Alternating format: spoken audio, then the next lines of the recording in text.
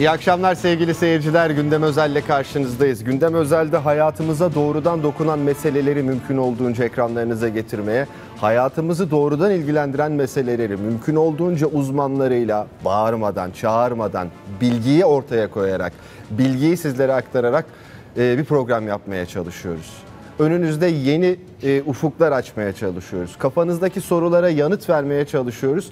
Hatta bazen gerekirse yeni sorular oluşturmaya çalışıyoruz meseleyi biraz daha iyi anlayabilmek için. Bugün gündem özelde gıda güvenliği meselesini konuşacağız. Şimdi gıda güvenliği meselesi dediğimiz mesele çok geniş bir mesele. Konuşacağımız konuklarımızı da sizlere hemen tanıtalım. Gerçi bugün çok yoğun bir İstanbul trafiği var. Ee, o yüzden konuklarımızın ikisi henüz stüdyoya ulaşamadı. Birazdan gelecekler ama biz e, Doktor Yavuz Dizdar ki zaten tanıyorsunuz bizim programlarımızdan da daha önce radyasyon onkolojisi uzmanı ve e, Profesör Doktor Sayın Ali Esat Karakaya, Karakaya ile e, toksikoloji uzmanı kendisi başlayacağız konuyu değerlendirmeye, konuşmaya. Ardından da İlerleyen dakikalarda İstanbul trafiği artık ne zaman müsaade ederse inşallah çok kısa bir vakitte olur diye umut ediyoruz ama tabii İstanbul trafiği olunca e, pek ümit var olmanın da e, anlamı yok. Artık ne zaman e, müsaade ederse Sayın Samim Saner Gıda Güvenliği Derneği Başkanı ve e, e, Sayın Ahmet Atalık İstanbul Ziraat Mühendisleri Odası Başkanı da bizimle birlikte olacak. Peki ne konuşacağız? Bir kere şöyle bir soru soracağız öncelikle. Bu sadece bizim için değil, dünyada da herkes açısından çok önemli bir soru, çok önemli bir sorun. Ee, yediğimiz besinlerin içinde ne olduğunu biliyor muyuz? Çok yeni bir fenomen var hayatımızda, organik gıda meselesi. Ee, kitlesel olarak artık konuşulmaya, tartışılmaya, hatta üretilmeye ve tüketilmeye başlandı birçok alanda. Peki organik gerçekten organik mi? Organik diye satılan bütün e, sebzelerin, meyvelerin, ürünlerin organik olduğundan nasıl emin olacağız? Ya da özetle hani kurtlu elma organik midir? Bunu anlamaya çalışacağız. Ve genetiği değiştirilmiş organizmalar meselesi. Ki en çok konuşulan konulardan bir tanesi bu dünyada da bizde de önemli rakamlar, önemli veriler var bununla ilgili. Onları da paylaşacağız ve bunu da tartışacağız. Genetiği değiştirilmiş organizma insan, doğa e, hayatı açısından bir risk mi, bir tehlike mi? Bunu anlamaya çalışacağız. Neden kanser oluyoruz? Neden kanser vakaları arttı ya da arttı mı? Diyabet daha fazla mı oluyoruz geçmişe kıyasla? Ya da bu bir manipülasyon mu aklımızdaki e, bilgilerimizin bize oynadığı bir oyun mu? İşte bunları anlamaya çalışacağız, bunları tartışacağız. Önce kısa bir reklam arası verelim. Ardından döndüğümüzde tüm hızımızla başlıyoruz konuşmaya.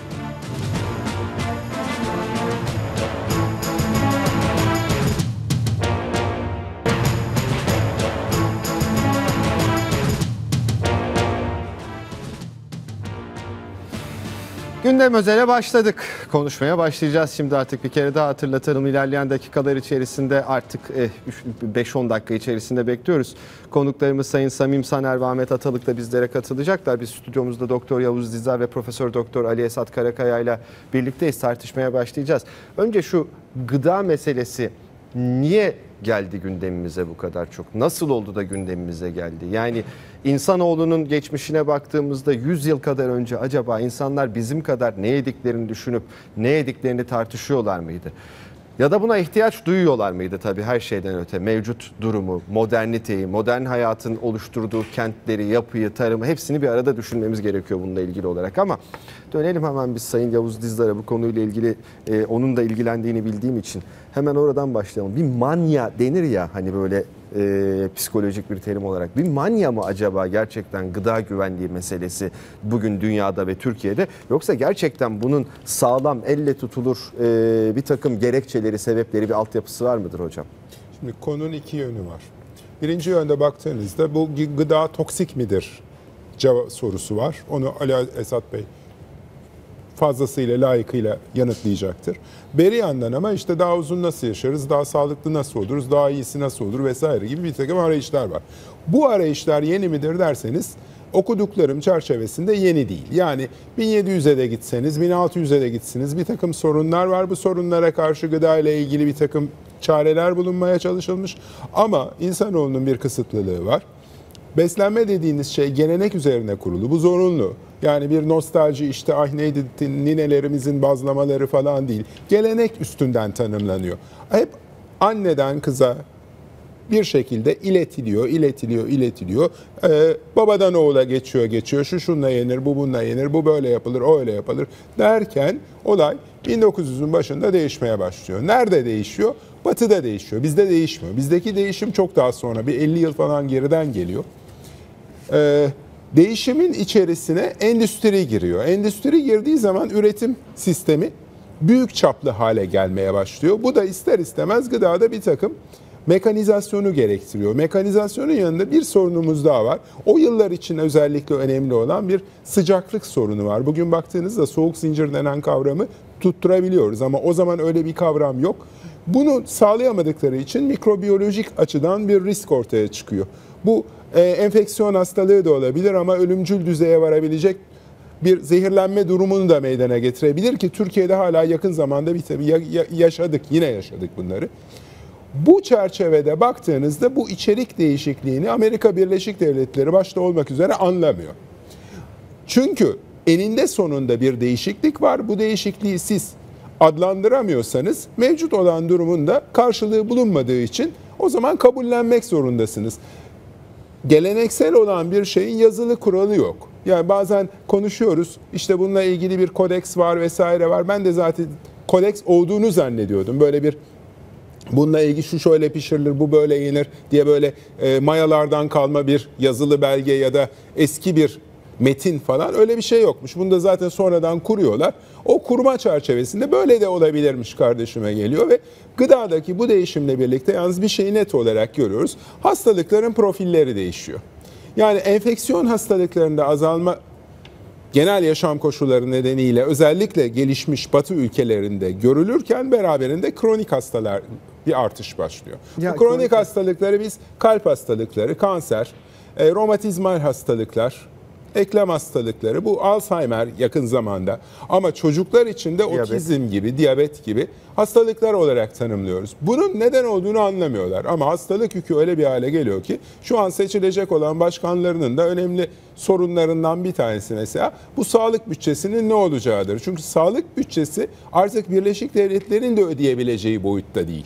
Türkiye'de de benzer sorunu yaşıyoruz. O kadar çok para harcıyoruz ki bu harcanan paranın hani attığınız taş ürküttüğünüz kurbağaya değiyor mu kısmı bir bir tarafta. İkincisi bilinçsizce harcıyoruz. Yani her şeyi siz görmek, bakmak vesaire işte milletimin sağlığı falan. Şimdi bakanın açıklaması var ki yani bakanın açıklamaları sonunda bir yerde gerçeği yansıttı. Hastaların diyor sağlığa erişimi arttı diyor. Erişimi arttığı ama öbür türlü de yorumlayabilirsiniz. Demek ki bir kere gitmekle sorunu çözemedikleri için beş kere gitmek durumunda. Yani bu bir avantajlı durum değil. Yanlış anlaşılmasın. Bazı şeyler bakış açısına göre değişir. Vatandaş bir kere de sorunu halledeceği yerde dört kere beş kere gidiyorsa ben bunda sağlık sisteminin yetersizliğini düşünürüm. Böyle bakmak lazım.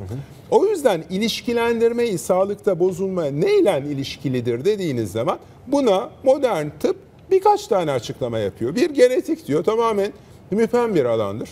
Yani bilinen kesin bir şey yoktur. İkincisi genel zararlılar, olağan şüpheliler demek daha doğru.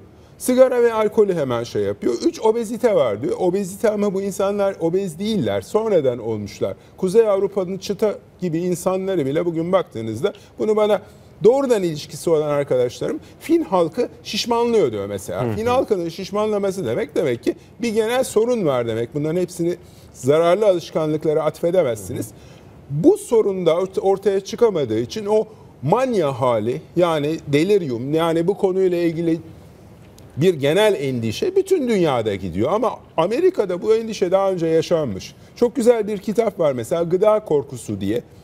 Bu gıda korkusunda adamların 1920'lerde 30'larda yaşadıkları ruh halini yine anlatıyor. Shangri-La diye bir bir yer- hipotetik bir yerden bahsediyorlar. Böyle e, dağların tepesinde, Himalayalarda bilmem ne işte oranın halkı acayip sağlıklı, mutlu ve çok uzun yaşıyor şeklinde anlatılan bir şey. Herkes buna erişmek için 1930'larda 40'larda da çaba sarf ediyor. Bu sonuçta ülkemize de bulaştı ve bulaşmanın sonucunda evet insanlarda bir sağlıkla ilgili, beslenme ile ilgili sorgulama zaten varken biraz ayyuka çıktı, biraz da ama yönü saptı. Çünkü bütün bu sorgulamaların aslında birebir karşılığı da bulunmayabilir. Bizim bu işe dahil olmamızın nedeni ise benim şahsi olarak öyle sağlıklı besleneyim diye bir saplantım söz konusu değildi. Ama zaman içerisinde şunu gördüm tamamen tesadüf. Vatan Gazetesi'nden bir gazeteci arkadaşımızın bir makalesi bir gün anneannemiz tarafından önüme kondu. Makalede diyor ki yoğurt ben gittim geldim işte bir aydan fazla zaman geçti hiçbir şey olmamış nasıl bu olmuş bu iş şeklinde. Baktım evet benim de aynı yoğurdu alıyorum ona da bir şey olmuyor. Onun üzerine bunlar gıdada ne yapmışlar ki bu kadar bozulma süreci değişmiş, uzamış, uzun raf ömrü olmuş. Bu araştırmaların üstüne işin içine dahil oldum. Dolayısıyla mesele aslında bir genel küresel meseledir. Biz bu küresel mesele içerisinde Türkiye olarak bilgi birikimi olarak şu an daha ileride duruyoruz. Birleşik Devletler yine bir şeyden anlamıyor ama orada belli kurallar manzumesidir. Bakın adamlar seçim yapacaklar. Adaylardan bir tanesi ki iki tane aday var. 2-3 önceki başkanın eşi. Bu Türkiye'de olsa millet buna güler. Başka kimse çıkmadı mı bulamadınız mı diye 300 milyonluk ülkede bir başka alternatif oluşturamadı mı Birleşik Devletler ama orada sistem böyle işliyor. Evet. Peki Yavuz Hocam çok teşekkür ediyorum. Bu arada sevgili seyirciler e, diğer konuklarımız da e, sağ olsunlar adet ettiler stüdyomuza aramıza katıldılar. Onlara da müsaadenizle hemen bir hoş geldiniz diyelim. Sayın Ahmet Atalık İstanbul Ziraat Mühendisleri Odası Başkanı hoş geldiniz efendim. Ve Sayın Samim Saner Gıda Güvenliği Derneği Başkanı siz de hoş geldiniz. Hoş bulduk. Biz efendim sizin yokluğunuzda müsaadenizle başladık bir girizgahta yapmasını istedim. Ben Sayın Yavuz Dizer Hocam da sağ olsun çok güzel anlattı meseleyi. Gıda meselesi, gıda güvenliği meselesi niye geldi gündemimize? Niye dünyada bunu konuşuyoruz? Nedir bunun temel gerekçesi diye bir önemli e, açılış yaptı. Oradan rahatlıkla artık şimdi konulardan e, konulara girebiliriz tek tek üzerinde konuşabiliriz. Özellikle bütün dünyada bütün e, herkesin gıda meselesiyle ilgili gıda meselesiyle e, bir şekilde e, irtibatlı herkesin üzerinde durduğu en temel meselelerden bir tanesi genetiği değiştirilmiş organizmalar meselesi. En sıcak konu olduğu için oradan başlayalım istiyorum ben ayrıntıları tartışmaya. Diğer noktalara da geçeceğiz. Çok fazla konuşacağımız konu olacak. E, nasıl başlayalım diye düşünüyorum. Şöyle bir ilk soru var aklımızda. GDO'nun aslında ne olduğunu çok iyi biliyor muyuz, bilmiyor muyuz o konuda soru işaretleri var. Size dönelim Ahmet Atalık bu konuyla ilgili olarak. Nedir GDO? Bir onu bize anlatabilir misiniz? En basit şekilde nasıl oluyor? Yani genetiği değiştirilmiş organizma ne demek? Ben mesela hani kendi adıma şöyle küçükken hatırlıyorum. e, ormanda e, vahşi e, meyveleri bulurduk. Onları gene o meyvelerin e, ehil olanlarıyla e, aşılardık. Çok- güzel teknikleri vardır onun. E, yepyeni bir şey elde ederdik. E, meyve elde ederdik. E, yüksek verimli, daha büyük, daha sulu, daha... Evet. Hibrit. Ee, böyle bir şey mi mesela genetiği değiştirilmiş olgu? Çünkü sık sık Hayır. bunun örnekleri veriliyor. Bir anlatın bize nedir, niye değildir, nasıl oluyor? Türkiye birçok konuda Avrupa Birliği'ni örnek alıyor. Ee, yüzlerce yönetmelikler çıktı. Oraya e, uyumlu kanunlar çıktı. O zaman ben size Avrupa Birliği'nin benimsediği tanım üzerinden Lütfen. tanımlayayım. İnsan hariç olmak üzere insanı bir kıyıda tutuyor. Doğal yolla gerçekleşmeyecek şekilde genetik yapısı değiştirilmiş canlı olarak tanımlıyor. Şimdi bu ne demek? Bilim ve teknoloji o kadar ilerledi ki laboratuvar ortamında hücrenin çekirdeğine e, o ip, e, kromozom iplikçiklerini oluşturan DNA'lar, DNA'larının ve onun da içindeki genlere kadar artık müdahale edilebiliyor. Enzimlerle kesilebiliyor. Bugün dünyada en yaygın genetiği değişim olayı bir tarım ilaçlarına karşı bitkinin direncini arttırmak. İkincisi de e, bitkinin bir takım böceklerin kendisine zarar vermesini önlemek üzere e, toksin yani zehir üretmesini sağlamak. Bu şekilde nasıl yapılıyor? Her iki yöntemde de bitkinin hücresinin içerisine toprak bakterilerinden alınan genler aktarılıyor. Bu az önce söylediğim işlevleri yerine getirmek üzere. Hani o Avrupa Birliği'nin tanımına dönersek doğal yolla gerçekleşmeyecek şekilde vurgusu çok önemli. Neden önemli? Çünkü o toprak bakterisinin zehir üreten geni hiçbir zaman o bitkinin bünyesine doğada giremiyor. Bu ileri teknoloji kullanılarak laboratuvarda yapılıyor. Hibritlerle GDO'lu tohumlar çoğu zaman birbirlerine karıştırılır. Aynı gibi görülürler. Kesinlikle aynı değillerdir. Hibritler birbirlerini dölleyebilen yaşam formlarının ürettiği melezlerdir. Ee, mesela insan üzerinden şöyle bir benzetme yapabiliriz. Zenci bir anne ile Finlandiyalı beyaz tenli sarışın bir babanın esmer çocuklarının olması gibidir hibrit. Ama e, GDO dünyada e, doğal işleyişi içerisinde olamayan bir olaydır. Ancak laboratuvarlarda o yaşamın bazı bölümlerine ayıran bariyerler vardır. Bu bariyerler teknolojiyle kırılarak o iki boyut arasında olamayan geçiş sağlanarak bir takım canlıların üretilmesidir. Ee, daha ziyade dünyada tartışıldığı yönüyle bugün ticari anlamda mısır, soya, pamuk ve kanola ticarete konu olmakta ve bazı ülkelerde üretimleri gerçekleştirilmektedir GDO'lu olarak. Müsaade misiniz? Bey? Buyurun hocam. Ben de size dönecektim. Çünkü tek başına doğal yolla gerçekleşmeyen e, değişiklik e, ne kadar tanımlayıcı o benim için çok açıkçası e, bir şey As- ifade etmiyor. Yani ben anlamadım bilmediğim bir konu olduğu için. Aslında E, yani e, doğru ama şu var. E, sanki ilk defa bitkiye yapıldı. Bakın 1978 yılına kadar Türkiye e, dünyada bir darboğaz vardı. Diyabetliler biliyorsunuz insülin kullanır. Ve bu domuz ve sığır pankreasından, pankreasından elde edilirdi. E bunun da tabii kapasite sınırlı. Hakikaten benim e, mezun olduğum ilk yıllarda bu bir sorundu. Ne yapıldı? Escherichia coli. Bağırsaklardaki mikroorganizma. Zararsız mikroorganizma. Belli koşullarda zararlı olur. Bunu Sami Bey daha iyi bilir. Ona insan insülini üreten gen konuldu ve artık insülin o bakteri tarafından üretiliyor. Doğada bu mümkün müydü? Aynı tanıma giriyor. Değildi. Yani biz bir teknolojik gelişmeden bahsediyoruz. Bu teknolojik gelişme ilaçlarla başladı. Sonra gıdalara geldi. Yem ve gıdalara. Şimdi şöyle bir olay var. Dünyada keşke böyle bir teknoloji olmasaydı. Biz de bunları tartışmazdık. Gerçekten öyle. Fakat zaten bizim ülke olarak bu konuda sıfırız. Hiçbir altyapımız, bu konuda araştırmalarımız, hatta araştırmaya anlama kapasitemiz de yok. Fakat var. Şöyle 1996'da 1 milyon hektar alan GDO'lu ekilirken geçen sene 180 milyon hektar. Ahmet Bey rakamlar doğru değil mi? 181'den 179'a nihayet inmeye başladı hocam. Yani oynayacağım. Şunu anlatmaya çalışıyorum. Gelişen bir teknoloji. Olan bir teknoloji. Bu pipeline dedikleri üretim daha henüz piyasaya çıkmamış. Üretim aşamasında da o kadar çok var ki. Bizim burada konumuz biz ülkemizi nasıl koruruz? Biz ülkemizin menfaatini bilim ve teknoloji odaklı olarak nasıl koruruz? Buna bakmak. Tamam. Yani istemezlik tarzında değil Yok de yok tabii tabii elbette. Deniz Ama ben Bey, hala şu şeyi tam anlamadım. eklemem lazım. Ee, GDO'nun tartışılan kısmı tarımdaki kısmıdır.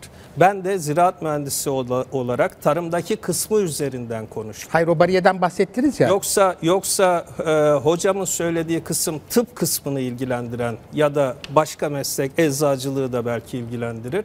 E, dolayısıyla dolayısıyla e, tarımın haricindeki sadece tarımda kullanılmıyor GDO teknolojisi. Çok geniş alanda Tabii, tabii. kullanılıyor.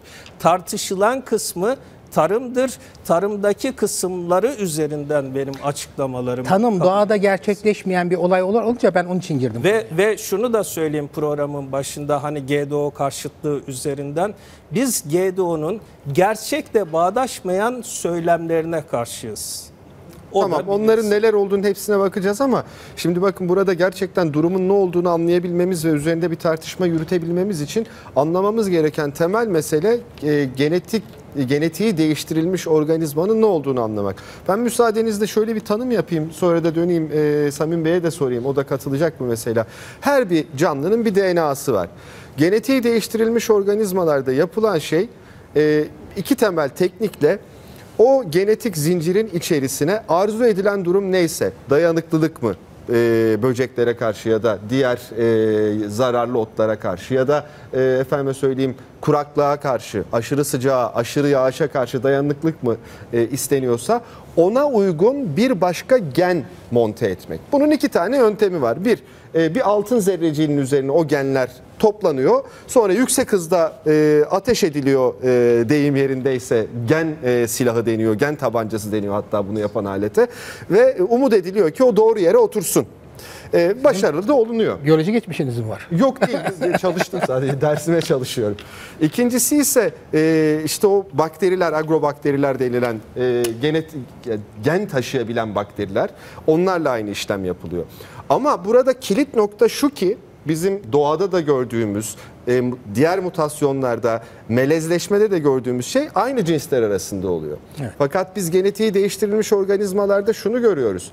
E, örneğin e, tırtıllara karşı koruyabilmek için akrep zehiri, akrebin e, zehirini taşıyan gen e, bir kabağa ya da bir e, mısıra e, eklenebiliyor. Onun genetik zinciri içerisine girebiliyor. Zaten benim anladığım kadarıyla temel tartışmayı yaratan nokta da burası. Doğru mudur Samim Bey? Mesela bu benim anlattığım tanım. Ee, Yani tabii burada bizi e, milyonlar izliyor. E, net de bir mesaj vermek lazım. Tabii önce ne demek GDO? Aslında bakacak olursanız en herkesin anlayacağı anlamıyla o çerçeve içerisinde dediğiniz doğru. Yani bir ürüne e, normalde onda bulunmayan başka bir özelliği kazandırma teknolojisi. Evet. İşte bahsettiniz mesela e, sus kuraklığın olduğu bir yerde bir e, tarımsal ürüne kuraklığa dayanabilme direncini kazandırmak veya işte bir e, zararlıya karşı da direnç geliştirmek gibi. E, şimdi bu konuya baktığımız vakit GDO yani bir defa tanımınız doğru bence. Arkadaşlarımız da herhalde buna lütfen- katılacaklardır. Ben burada olaya bir de bir başka boyuttan girmek istiyorum. E, konunun aslına baktığımız vakit e, birkaç boyutu var. Bir tanesi e, ekonomik boyutu ki Ahmet Bey ondan bahsetti doğrudur. Bir tanesi ekolojik boyutu yani ekosistemi ilgilendiren ve ekosistemdeki diğer e, benzer türlerle olan etkileşimini ilgilendiren bir boyutu. Ve üçüncü boyutu da İnsanı ilgilendiren. insanı ilgilendiren Doğrudan. gıda güvenliğini veya sağlık boyutu var. Yani ben e, eğitimim gereği ve temsil ettiğim derneğimiz gereği tabii ki üçüncü kısmıyla ilgili konuşabilirim. Gıda güvenliği ile ilgili Ahmet Bey e, muhakkak e, birinci ve ikinci kısmıyla ilgili e, görüşecektir, görüşlerini aktaracaktır. Şimdi bu üçüncü kısmıyla ilgili baktığımız vakit yani gıda güvenliğini, insanı ilgilen boyutuyla ilgili e, ülkemizde bir defa tüketicilerin de şunu bilmesi gerekiyor. Şu an bir GDO tarımı yok. Bir GDO'lu tohum ithalatı yok.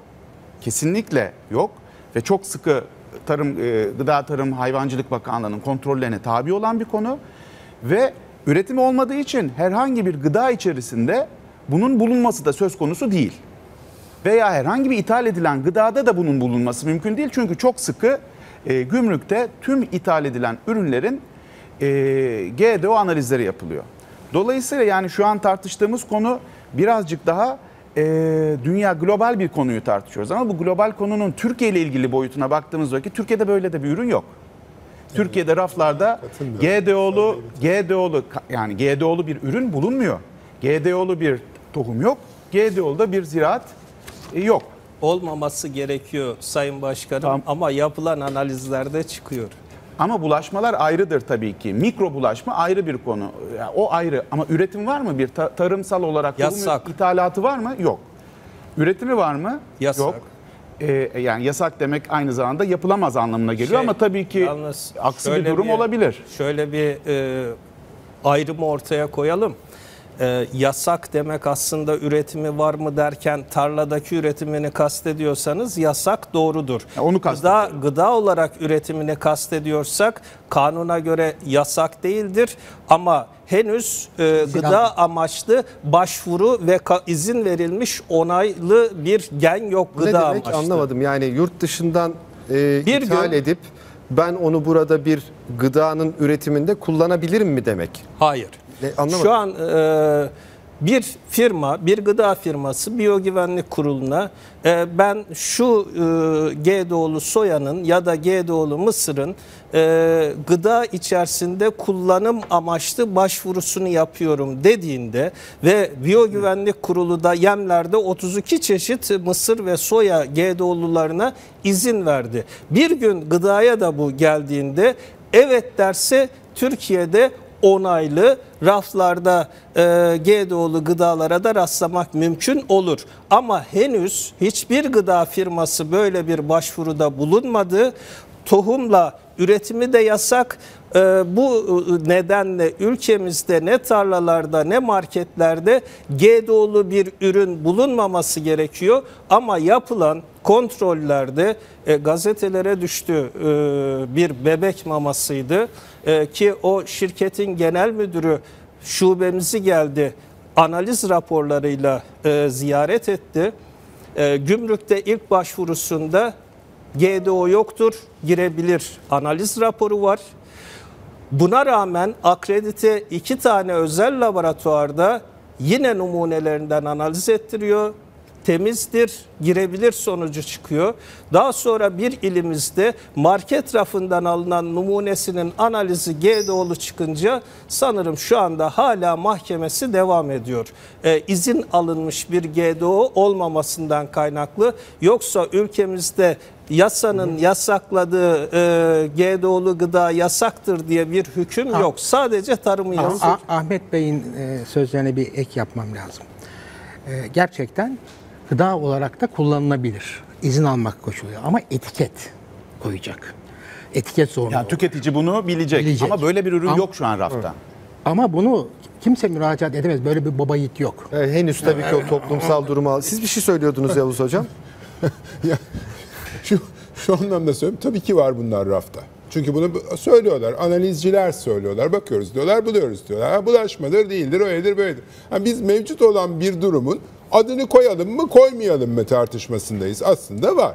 Ben size yaşadığımı, içine düşmüş olduğumu anlatayım. 3-4 yıl önce hatırlayacaksınız siz de bir pirinç tankeri Mersin Limanı'na geldi dediler. GDO'lu pirinç dediler.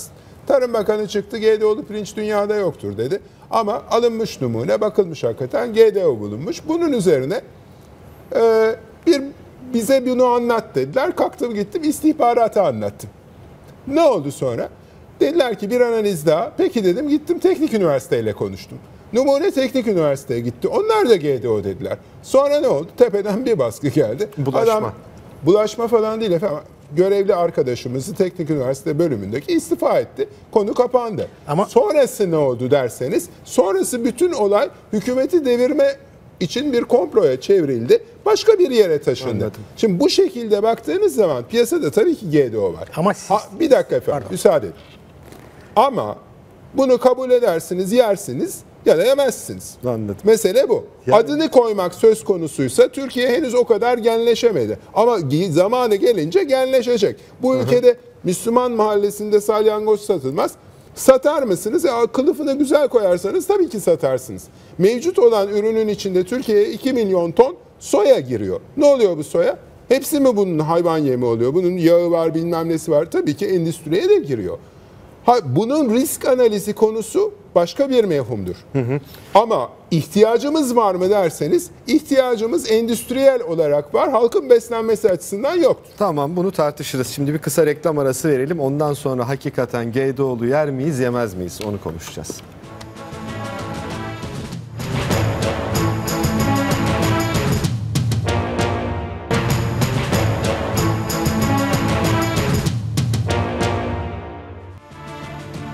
Kısa bir aranın ardından gündem özele devam ediyoruz. Genetiği deriş, değiştirilmiş organizmaları konuşuyoruz. Ne olduğunu az çok anlayabildik zannediyorum. Konuştuk üzerinde tartıştık ama en çok konuşulan meselelerden bir tanesi genetiği değiştirilmiş. İçerisinde o organizmaya değil bambaşka bir organizmaya ait gen taşıyan bir gıda acaba insan tarafından yenildiğinde ya da hayvan yemi olarak kullanılıyor. Hayvan yemi olarak kullanıldığında bunun insan sağlığına bir zararı var mı? Hocam e, bu konuyla ilgili size dönmek istiyorum. Çünkü çok farklı şeyler söyleniyor. E, organ yetmezliği, e, ani ölüm, efendime söyleyeyim e, özellikle yeni doğanlarda e, bir takım sıkıntılar yine erken e, ölüm riski, erken doğum riski, e, alerji, efendime söyleyeyim kanser, e, diyabet gibi bir sürü şeye yol açtığına dair özellikle işte son e, 15 senedir e, 90'ların ortalarında çünkü ticari olarak ilk defa çıkmaya başlıyor. Bir sürü makale vardı. Şimdi bunun karşılığında da tam aksini iddia eden makaleler de var. Nedir hakikaten böyle bir şey olur mu? Biz yediğimiz bir şeyden böyle bir şeyle karşılaşabilir miyiz? Genetiği değiştirilmiş olduğu. Şimdi bir sürüsünü bir tarafa bırakalım. Çok fazla değil bu konuda. Şimdi herhangi bir ürün insana ulaşıyorsa herhangi bir şekilde bu tekstil ürünü de olabilir, yediğimiz gıda da olabilir, ilaç da olabilir. Güvenlik testleri denen ki toksite testleri benim de uzmanlık alanım bu. Güvenlik testlerinden geçmek zorunda. Burada tartışma şu, şu olabilir. Bu genetiği değiştirmiş organizmalar için yapılan testler yeterli mi? Bunun için yapılan testlerin yeterli olduğu ama her faaliyet gibi bir risk taşıdığı ifade edilir. Genelde bu nasıl olur? Ahmet Mehmet ne söylüyor değil. Kurumsal görüş nedir diye bakılır. Bir de ikincisi kurumsal görüşte konsensus var mı diye bakılır. Yani görüş birliği. Kurumsal görüş dediğimizde gıda ve sağlık otoriteleri, o ülkelerin bilim kuruluşları, üst düzey bilim kuruluşları, Dünya Sağlık Örgütü. Ben dört maddede söyleyeyim genetiği değiştirilmiş gıdaların hepsi güvenlik kategorik olarak hepsi güvenlik kabul edilemez. Ama güvenlik testlerinden geçmiş olanlar ki kuralları, protokolları belli. Eş değeri olan geleneksel tür kadar güvenlidirler. Bu ikisi yetiyor zaten de bir üç cümle daha var. 15 yılı aşkın zamandır trilyonlarca porsiyon tüketildi. Bir sağlık zararı insanlarda tespit edilmedi. Ha, bir dakika. Bir, Bir, bir dakika, bir dakika hocam. Vereceğim. Ben sen nasıl bir hani Trilyon- söz vermedin ben de onu söylüyorum. trilyonlarca porsiyon. Tabii Amerika Birleşik Devletleri'nde etiketsiz olarak eğer Amerika Birleşik Devletleri'nde gidip alışveriş ederseniz sırf alışveriş sepe- sepetine yiyecek koyarsanız ya GDO'lu ya GDO bir şekilde GDO'yla hazırlanmış bir ürün var içinde. Mesela çorba aldınız. içindeki mısırın Mısır yağı, yağı. mısırın yağı GDO. Ve etiketsiz.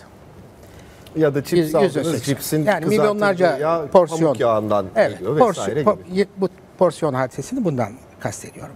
Şimdi böyle bir şeyden bahsediyoruz. Peki bu görüşe katılmayan dünyada herhangi bir bilim kuruluşu var mı? Şimdi bilimin bir şemalandırılması var. Bilim adamları yukarıda, üniversiteler, e, araştırma kuruluşları, işte bizim TÜBİTAK gibi benzerler. E, bu regülasyon otoritelerinin yani sağlık, gıda otoritelerinin bilim kurulları ve ICSU denen International Council for Science en dipte de tepe noktası, bilimin tepe noktası. Hepsinin ortak görüşü bu. Şimdi diyeceksiniz Yani ki ortak görüş dediğimiz güvenlik testlerinden Yani geçmiş olanlar, olan eş- GDO'lu bak- ürünler eşdeğeri kadar güvenilirler. yani mısırsa GDO'lu mısır, testten Evet, geçmişse GDO'suz mısır, Mısır kadar. güvenlidirler. Bunun dışında Dünya Sağlık Örgütü'nün sayfasını açın bu da vardır. Dünya Sağlık Örgütü derken biraz tereddüt ediyorum çünkü bu tartışmalarda bunu ne zaman söyledik aşıda yanıldı. Fakat ben mesela Amerika Bilimler Akademisi'nden bahsediyorum. Aziz Sancar hocamızın üç Türk'ten biridir oraya üye olan. 2500 üyeden 250'si Nobel'lidir. Ee, İngiltere Kraliyet Akademisi 1500 üyesinden 180'i Nobel'lidir. Şimdi bu kuruluşların bir, bir sermayeleri var, itibarları. Bunlar konum belgeleri denen böyle tartışmalı konularda konum belgeleri hazırlarlar. Bu da bunlardan bir tanesi. Yani durumumuz bizim bu işe bakışımız nedir'i anlatan net bir anlatırlar. net ifadeleri vardır. Arkasında yazmaz ama bu şudur. Biz 400 yıllık kuruluşuz, 250 yıllık kuruluşuz, şöyle bir kuruluşuz. Size bilimi en iyi yorumlayan kuruluşuz ve bizim görüşümüz bu derler. Bizde eksik olan bu. Bakın biz bu tartışmaları yıllardır yapıyoruz 2009'dan beri. Değil mi? İşte bizler yapıyoruz. Türkiye'de bilim kuruluşları bu konuda sessiz. Çünkü Türkiye'de çok açıklıkla söyleyeyim. Ben bunun çözümünün TÜBİTAK ve TÜBA'nın görüş bildirmesi olduğunu düşünüp içinde bulunduğum kuruluşlarca cesaretlendirmelerle diyeyim ikisine de talepte bulunuldu. Ortak cevap bizi bu işe karıştırmayın mealindeyim. Ha? Ne? Bizi bu işe yani Süper.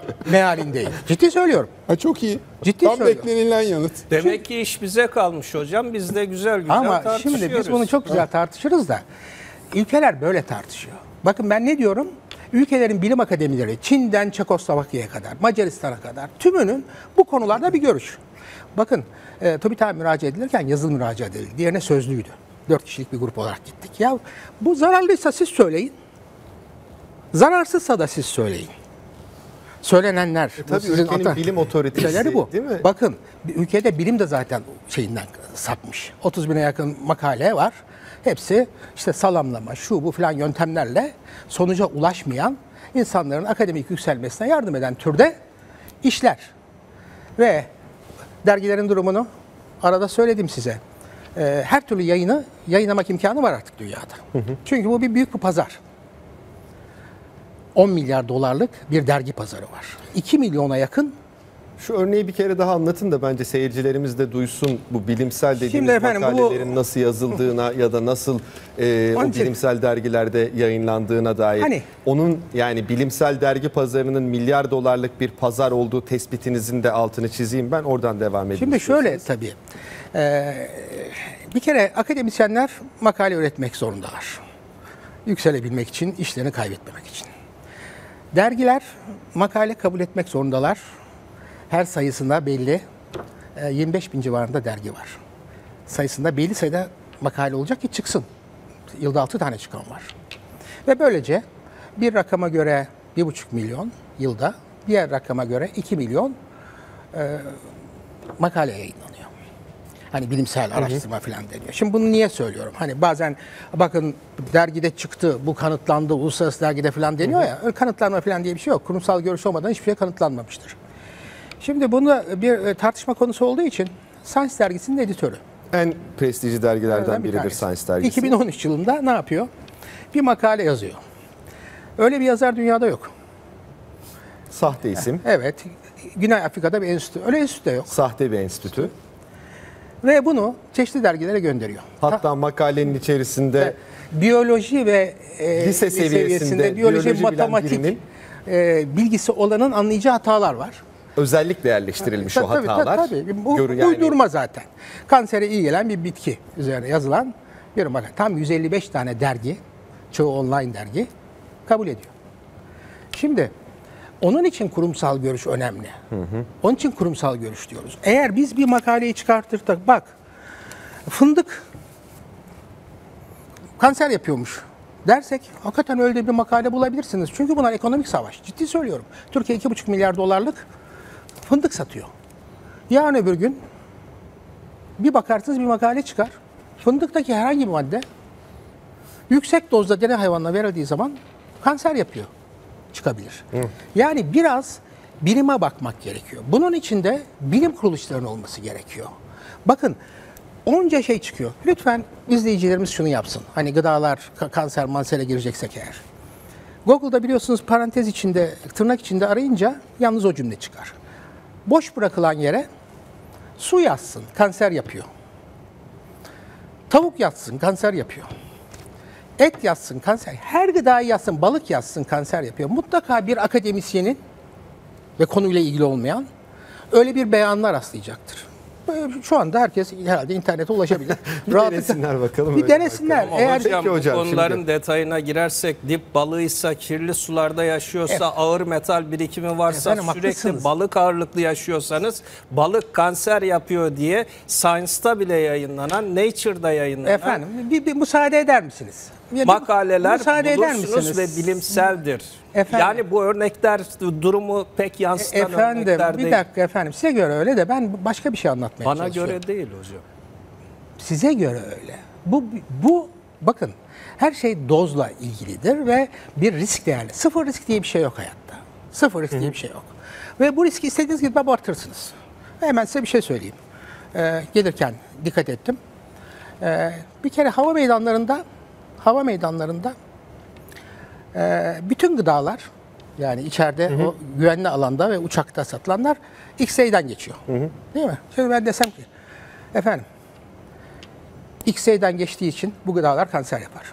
Bu da mantıklı gibi geliyor. Değil mi? Ama değil. Öyle bir veri yok, bilimsel veri yok. Peki bu geçmesin. Belki bir risk var.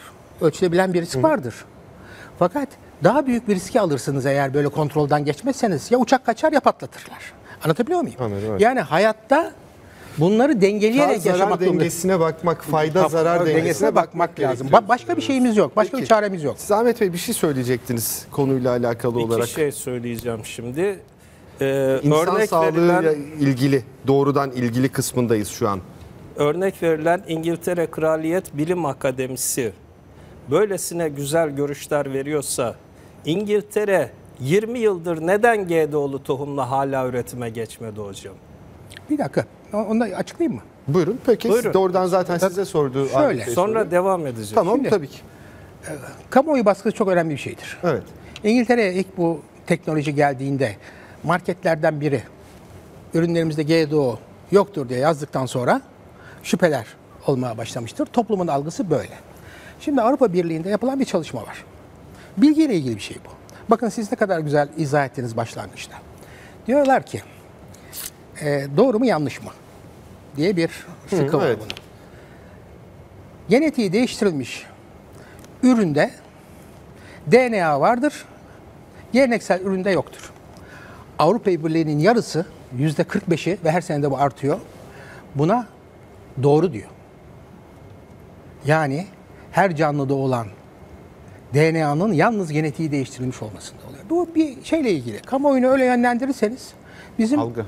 Algı. Bakın yine ben şeylerden vereyim. Bizim hekimlerde yapılan çok güzel bir çalışma var. E, Süleyman Demirel Üniversitesi'nde hekim arkadaşlar yapmışlar. 200 hekime soruyorlar. 200 hekime soruyorlar. GDO zararlı mıdır? Zararlıdır diyenler %80. Kanser yapar mı? %68. Nereden öğrendin? Bilgi kaynağın ne? Yeterli mi bilgin? Yeterli. Nereden öğrendin? %38. Medya, %28 internet, %4,5 fakültede öğrendim. O 4,5 yanlış çünkü öyle bir eğitim yok. Anlatabiliyor muyum? Şimdi olayı eğer medya ve internet bombardımanıyla yaparsanız buna zararlı dersiniz tabii. Öyle olunca da e, hükümetler bile şey yapamıyorlar, buna da dayanamıyorlar. Hadise bu. Niye ekmiyor derken bir kere alanları da müsait değil. Bakın yük- büyük alanlarda yapılır bu. Hani gen kaçışı olmasın diye. Gayet iyi biliyorsunuz, benden iyi biliyorsunuz. O zaman nerede oluyor bu? Brezilya'da oluyor, Arjantin'de oluyor, Kanada'da oluyor, Amerika'da yapılıyor. Büyük alan, Avustralya'da yapılıyor. Şimdi bu teknoloji, yani dedim ya keşke olmasaydı ya. Yani çünkü yo- yokuz, sıfırız biz bu. Ülke olarak düşündüğümüz zaman sıfırız biz bu konuda. Üniversitelerimizde çalışılmıyor. Çünkü 50 bin tane bariyer var. Yani izin alacaksınız, şu olacak, bu olacak bir sürü e, riski var. Artı e, şeyler kana alıyor e, hayvan yetiştiriciler. Niye? İzi bulunsa 5 yılla 12 yıl hapis. Biyogüvenlik kanununa göre. E, yani tam bir e, bu Anladım konuda bir Ha, korku. ha, kamuoyu Hocam, baskısı nedeniyle şey olmuyor diyorsunuz. istiyorum. Ee, yurt dışında GDO'lu yemle birçok besleme denemesi yapılıyor hayvanlar üzerinde. Türkiye'de yapılmış ciddi bir araştırma var mı bu konuda? Buna gerek var mı? Ha, o zaman söyleyeyim. Bizim ülkemizde hiçbir akademisyenimiz bunun üzerine ciddi bir araştırma yapmadan e, ülkemizde Efendim böyle bir şey olabilir mi? Bakın nasıl dünyadaki olabilir liter- mi? Akademisyenlerin işi ne hocam? Bir dakika efendim. Şimdi saçma yapan da var. Ve o son nedir biliyor musunuz? Bu toksite testleri yapabilmek için Yüksek lisans öğrencileri yapıyor hocam ülkede. Ben gayet yakından takip ediyorum tüm bilimsel çalışmaları. Yüksek en son yapılan da 2015 yılında iki tane çalışma var. Yüksek lisans tezleri. Şimdi bilim şüpheciliği getirir. Bilim insanı demek şüphelenmesi gereken insan demek. Ve bilgi düzeyi ne kadar artarsa da o kadar şüphelenmesi gereken bir du- durum ortaya çıkar. Ben ülkemdeki akademisyenlerin bu kadar şüphesiz durumun Efendim, karşısında şüphesiz olsun? şaşkınlık. Efendim, niye- Son derece savunuyorlar. Ya insan merak eder bir denemesini Efendim, yapar. Hacettepe Üniversitesi'nde bir- yapılmış. olayı olayı Giresun Üniversitesi'nde yüksek lisans öğrencileri yapıyor. güvenlik testleri Hocaları da yapsa da bize hiçbir şey olmuyor deseler de biz de kendi akademisyenlerimizin yaptığı şeylere inansak. Ya- Yok böyle bir şey. Öyle böyle bir şey olabilir mi? İnsana kanser yapar mı, şunu yapar mı sorularınız bir kere yine güzel soruyorsunuz ama olmayan bir şey üzerinden tartışma Neden yürüyor. öyle? Neden öyle? Ee, insanlara GDO yedikleri için bir şey olmuyor. Niye? Çünkü ölüm raporunda o insanın GDO'dan öldüğü yazmıyor. Kalpten öldü, böbrek yetmezliğinden, karaciğerinden. Peki size soruyorum. Termik santraller konusunda tüm dünyada bir kargaşa tartışma var. Hangi insanın e, ölüm raporunda termik santral yazıyor yoksa akciğer kanseri mi yazıyor? Peki yani şunu mu söylüyorsunuz Ahmet Bey anlamak için daha İnsanlar üzerinde Yani takibi yok ki. İnsana zararı ve yararını nereden bileceğiz? Hayvanlar üzerinde özellikle de fareler üzerinde yapılmış çalışmalar var. Son derecede böbreklerini bitirmişi gösteren çalışma var. Karaciğeri bitmişi gösteren çalışma var. Kısırlık çalışmaları var. Kan yapısı bozulma çalışmaları var. İşte ben 2004'ten beri akademisyenlerimiz çıkmıyor. 12 senedir yalvarıyorum. Yapın çalışma hocam. Deyin ki Yani bu- yaptım. Aslında bu türbinler oynamak. Ben size anlatayım da durumu. Neyi Bir dakika. anlatıyorsunuz Aa, bir dakika hocam? Anlatayım. Bir Bilimler dakika. Akademisi dediniz. Tarımını yapmıyor. Bu kadar güzel şeyin dakika tarımını efendim, niye bakın. yapmıyor İngiltere? Bakın. Ve Avrupa'daki Ama hiçbir gıda hiçbir yani. gıda firması gıda olarak izin verilse de e, gıdalarında kullanmıyor. Niye Niye, kullansın? kullanmıyor? Halk istemiyor. Halk istemiyorsa niye yapacaksınız? Sonra toksikolojik çalışmalarından geçiyor. E, zarar vermiyor halkın sağlığına değil mi? Sadece toksikolo, e, toksikolojiyle iş bitmiyor Deniz Bey. Niye bitmiyor? Bakın şu önemli değil mi? Amerika Birleşik Devletleri bu işin cenneti. Dünyadaki o 179 milyon hektarın yarısı Amerika'da. Neredeyse yarısı tek başına Amerika'da. Tohum fiyatları, dolayısıyla gıda fiyatları, gıda derneği, gıda fiyatları. GDO'nun tarımı yaygınlaşmadan 20 yıl öncesiyle GDO tarımının yaygınlaştıktan 15 yıl sonrasının tohum fiyatlarını analiz ediyorlar. Soyanın fiyatı önceki 20 yılda sadece %60 artmışken tohumunun fiyatı sonra GDO'ya geçtikten sonra %325 artmış. Fiyatlar yükseliyor. Mısır öncesinde %58 artarken sonrasında 250 %259. Pamukta %166 iken önceki 20 yılda GDO'ya geçtikten sonra %516. Tamam. GDO bakın bunlar fiyatla da kalmıyor. Şunu da söyleyeyim toksikoloji kısmı sadece güvenlik testi orada bitmiyor. Ziraat alanına baktığımızda biraz geniş alana baktığınızda hocam şunu da değerlendirin Biz lütfen. insan sağlığını konuşalım Ahmet Bey, dedik. Bakın Ahmet Bey, bak lütfen. insan sağlığına Ahmet Bey, geliyorum. bir saniye bir şey söyleyeyim. Müsaadenizle. Amerika'da- müsaadenizle, müsaadenizle. Çok önemli verilerden bahsediyorsunuz. Orada size herhangi bir İnsan itirazım yok. sağlığını söyleyeyim. Müsaadenizle ama bitireyim. Yani burada adım adım gitmek zorundayız ki meseleler birbirine karışmadan daha net biçimde aktaralım. Benim zaten temelde size soracağım sorulardan bir tanesi ilerleyen dakikalarda bunun e, küresel tarım şirketlerinin politikalarıyla Çok yerel güzel. bilginin, yerel irfanın ticarileştirilmesiyle alakası olacak. O başka bir konu. Ama şu çok daha önemli bir mesele. Şu aşamada önemli bir mesele. Ben genetiği değiştirilmiş organizma e, ile beslenmiş hayvan ya da doğrudan geneti, e, genetiği değiştirilmiş bir organizmayı e, soframda gördüğümde Bundan korkmalı mıyım? Ben bunu yiyecek miyim, yemeyecek miyim? Bu benim sağlığıma doğrudan bir zarar veriyor mu? Siz hocam diyor ki bu konuyla ilgili çalışmalar yapıldı. Zarar yok. İnsanla olduğu görünmüyor. siz, yok. siz de diyorsunuz ki bu takip edilmedi. Bana bir önce ne olur bu kısmını anlatın. Evet. Bunu bir çözelim. Oradan geçeceğiz zaten Ben diğer doğru anlatamadım ama derdimi. Ben derdimi doğru düz anlatamadım. Anlatacağım. Benim anlattığım şeyde demin size sordular. Ben itiraz etmedim hocam. Size sorup bana Hayır dediniz ki niye çalışma itiraz yapılmıyor Türkiye'de o konuyu Ama yapıyor. Türkiye'de niye çalışma yapılmadığının da az çok gerekçesi ortada. Zaten hiçbir şey yapmıyoruz. Yani bir tek şey e, denetim kısmı var. Ama şunu bir bitirelim. Sizin o konudaki itirazınızı bir net duyalım efendim. Bu konuda özellikle tıpla tıp alanında uğraşan hocam daha iyi bilir. Toksikoloji alanında da hocam daha iyi bilir benden. Ee, GDO'ların son derece güvenli, hiçbir sağlık zararı yok. Hatta bazı birkaç akademis- akademisyenimiz kaşıntı bile yapmıyor der sık sık. Ee, Bu gibi söylemlerde bulunmak son derece yanlıştır. E, Bu konuda epidemiyolojik çalışmalar olmaksızın bu zarar saptanamaz. Böyle çalışmalar yapılmamıştır. Sadece fareler üzerinde çalışılmıştır. Fare üzerinde 30 gün çalışıyorsunuz. Fare gayet sağlıklı o 2 milyon makale arasında çıkıyor. E, 120 gün çalıştığınızda farede bozukluklar olduğu ortaya çıkıyor.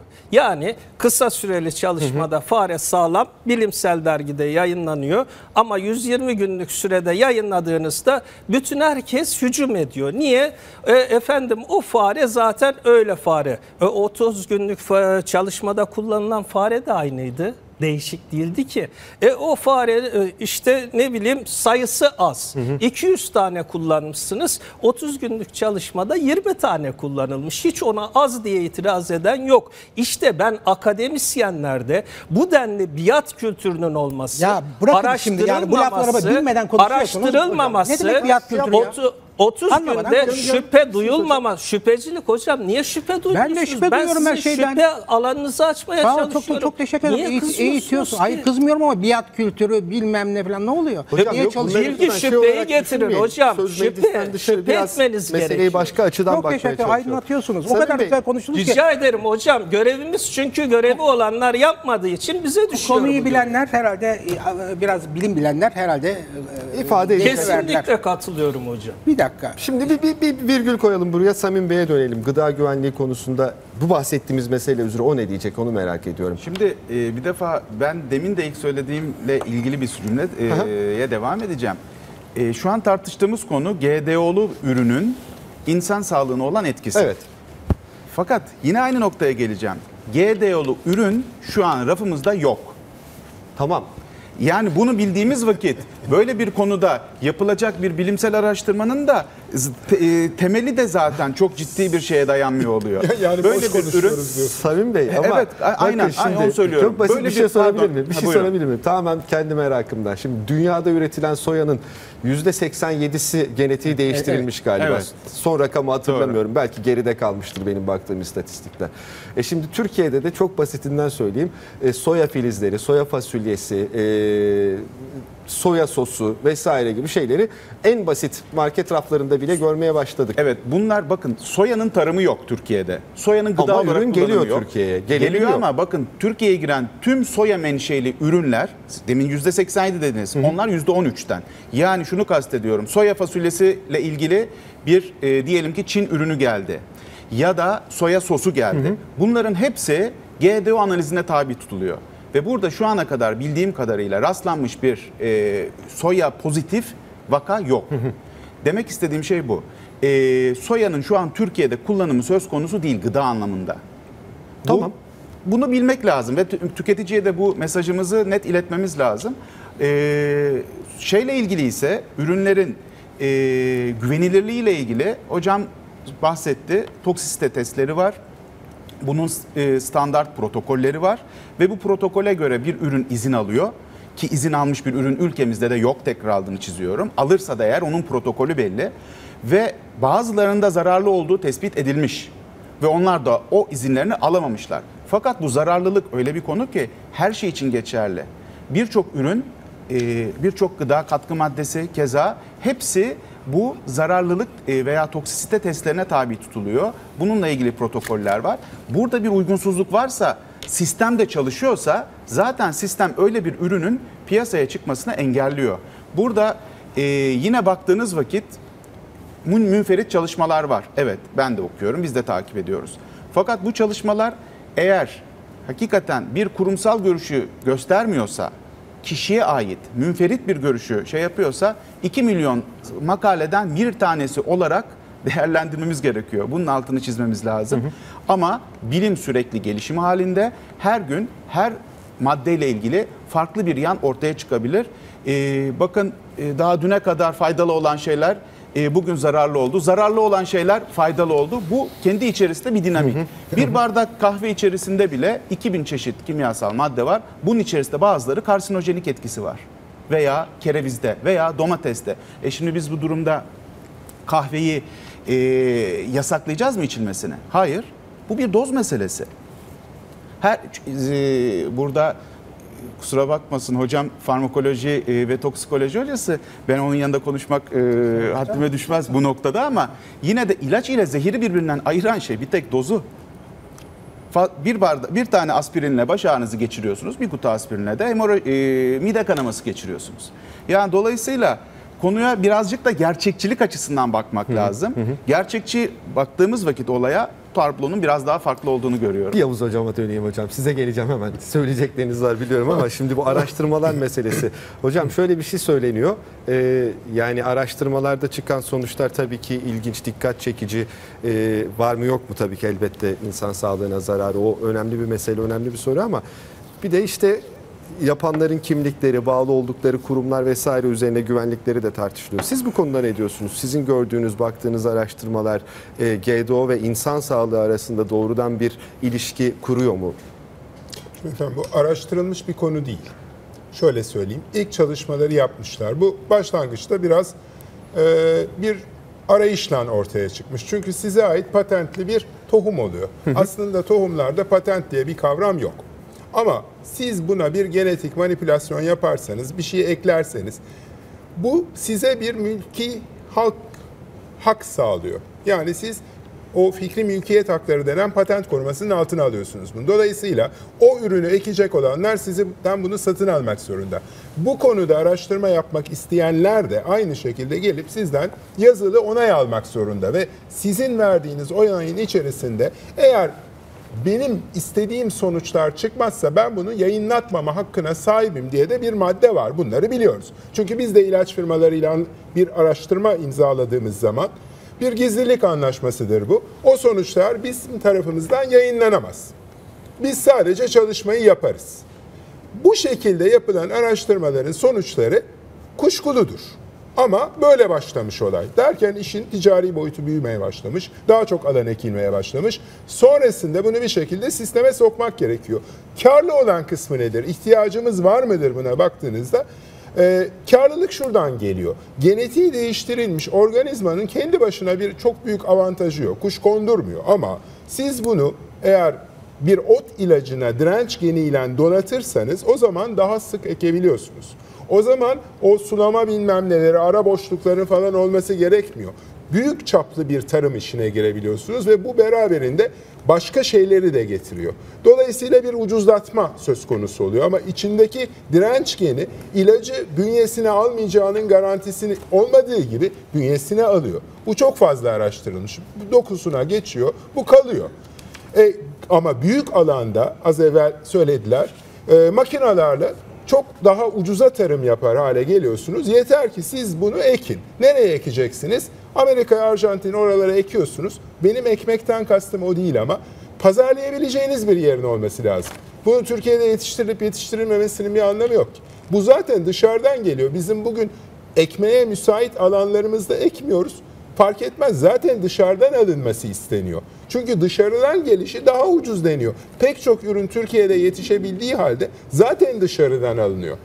Bu şekilde baktığınızda bunun sağlıkla ilgili kaygıları falan bunlar süslemelerdir. Siz bunun araştırmasını yaparsanız uzun vadeli yapmak zorundasınız. Çünkü sizin beklediğiniz sonuç 30 günlük, 60 günlük, 90 günlük deneyle çıkmayabilir. Sıçanın, farenin metabolizması insanla karşılaştırılamaz. Aynı yanıtı mesela Avrupa Gıda Güvenliği Otoritesi'nin başkan yardımcısı da verdi. Biz 80 kiloluk fare değiliz dedi. Haklıydı adam. Ama bu demek değildir ki insanda denemeden bunu geçebilirsiniz. Yani fareye bunu bir şey yapıyorsa ya sizde de bunun olasılığı vardır. Çünkü süreyi uzattığınız zaman bazı şeyler görünür hale gelir. İnsanlar bir günde yaşlanmazlar. Birikim etkisi tabii. Birikim etkisi, dokuyu değiştirme etkisi bunlar uzun vadeli Yani arseniği şeyler. böyle miligram miligram Aynen alırsınız öyle. Demin ama aklımdan kritik- geçen örneği vermiş olduğunuz arseniği miligram miligram verirseniz adamın zehirlendiğini kimse anlamaz. Ama bir anda verirseniz çünkü ani gelişen olaylar sizin ilginizi, dikkatinizi çeker. Ama ben sözü şöyle toparlayayım, şey yapmayayım. Halktaki algı, insanlarda, vatandaşlarımızdaki algı çok değişkendir. Buna ihtiyacımız var mı? Yok. Bu kötü bir şey midir? Kötü bir şey olduğunu düşünüyor. Peki demokrasi demokrasi bilmem ne madem kötü düşünüyor niye biz bunu sokacağız diye Türkiye'ye bu kadar tartışıyoruz ki? Biyogüvenlik kurulları kuruluyor. Bu kurullar gerektiği olduğu için kuruluyor. Yani sistemin işlerliği için kurulun gereği var. Yoksa kanunsuz duruma düşüyor. O yüzden önce biyogüvenlik kurulunu kuruyoruz. Kurma nedenimiz zaten bunların girişi. Yani bir denetleme falan değil. Bizim ne haddimize düşmüş onların yaptığı bilmem ne altına da imza attığı, kurumsal görüş verdiği bir şey için ayrıca kendi fikrimizi beyan edelim. Tabii ki onların çünkü Ali Esat hocam bu konuda haklı. Bizim zaten bu konuda bir araştırmamız da yok. Bu araştırmanın ama yapılması gerekiyor. Yani üniversitelerin elinin bu biyogüvenlik bilmem nesinin basıncından çıkartılıp en azından onları araştırma şansı için gereken bilimsel altyapı. Bunu çok fazla konuştuk biz. Bu konuda konuş çalışan arkadaşlarımız var. Şu an hiçbir çalışma yapamıyorlar. Laboratuvar ortamından bahsediyorum. Niye? Çünkü yasak. Yasak. Böyle şey olur mu? Yani bu yasak konusunda karşıyız tabii ama halk da bunu istemiyorsa o zaman bunda da niye bu kadar ısrar ediyoruz? O da ayrı bir mesele. Yani bunlar civciv midir ki sürekli bunlara bir şey atacağız, besleyeceğiz, illa GDO'lu olsun. Anladım. Şimdi Müsaade hocam eder misiniz? bu- estağfurullah. Yani çünkü iki tane Size döndüm zaten. oldu. Niye akademisyenler bunların güvenliği konusunda test yapmıyor? Şimdi hocamın belki tam olarak bilmediği bazı konular var Ahmet Bey'in. Şimdi hadise şu. Bunların protokollerini yapacak laboratuvarların akredite olması lazım. Bir maddenin doğru dürüst tek bir molekülden bahsediyorum. Toksik testlerinin tam olarak yapılmasının bedeli 20 milyar dolardır. Ve bunun da sürekli olması gerekir. Yani 20 milyar dolara verdim sen yap bunu. Arkadan da gelecek. Onun için dünya bunun çözümünü araştırmalı, e, sözleşmeli araştırma kuruluşları diye bir yapıyla bulmuş. İlaç firması da geliştirdiği zaman onlara veriyor. Sürekli yapılıyor. Yani bu bir akademisyen işi değil. Ha olur tabii alırsınız hayvana yedirirsiniz. Ha şunu gördüm bunu gördüm. Kesinlikle bir değeri yok.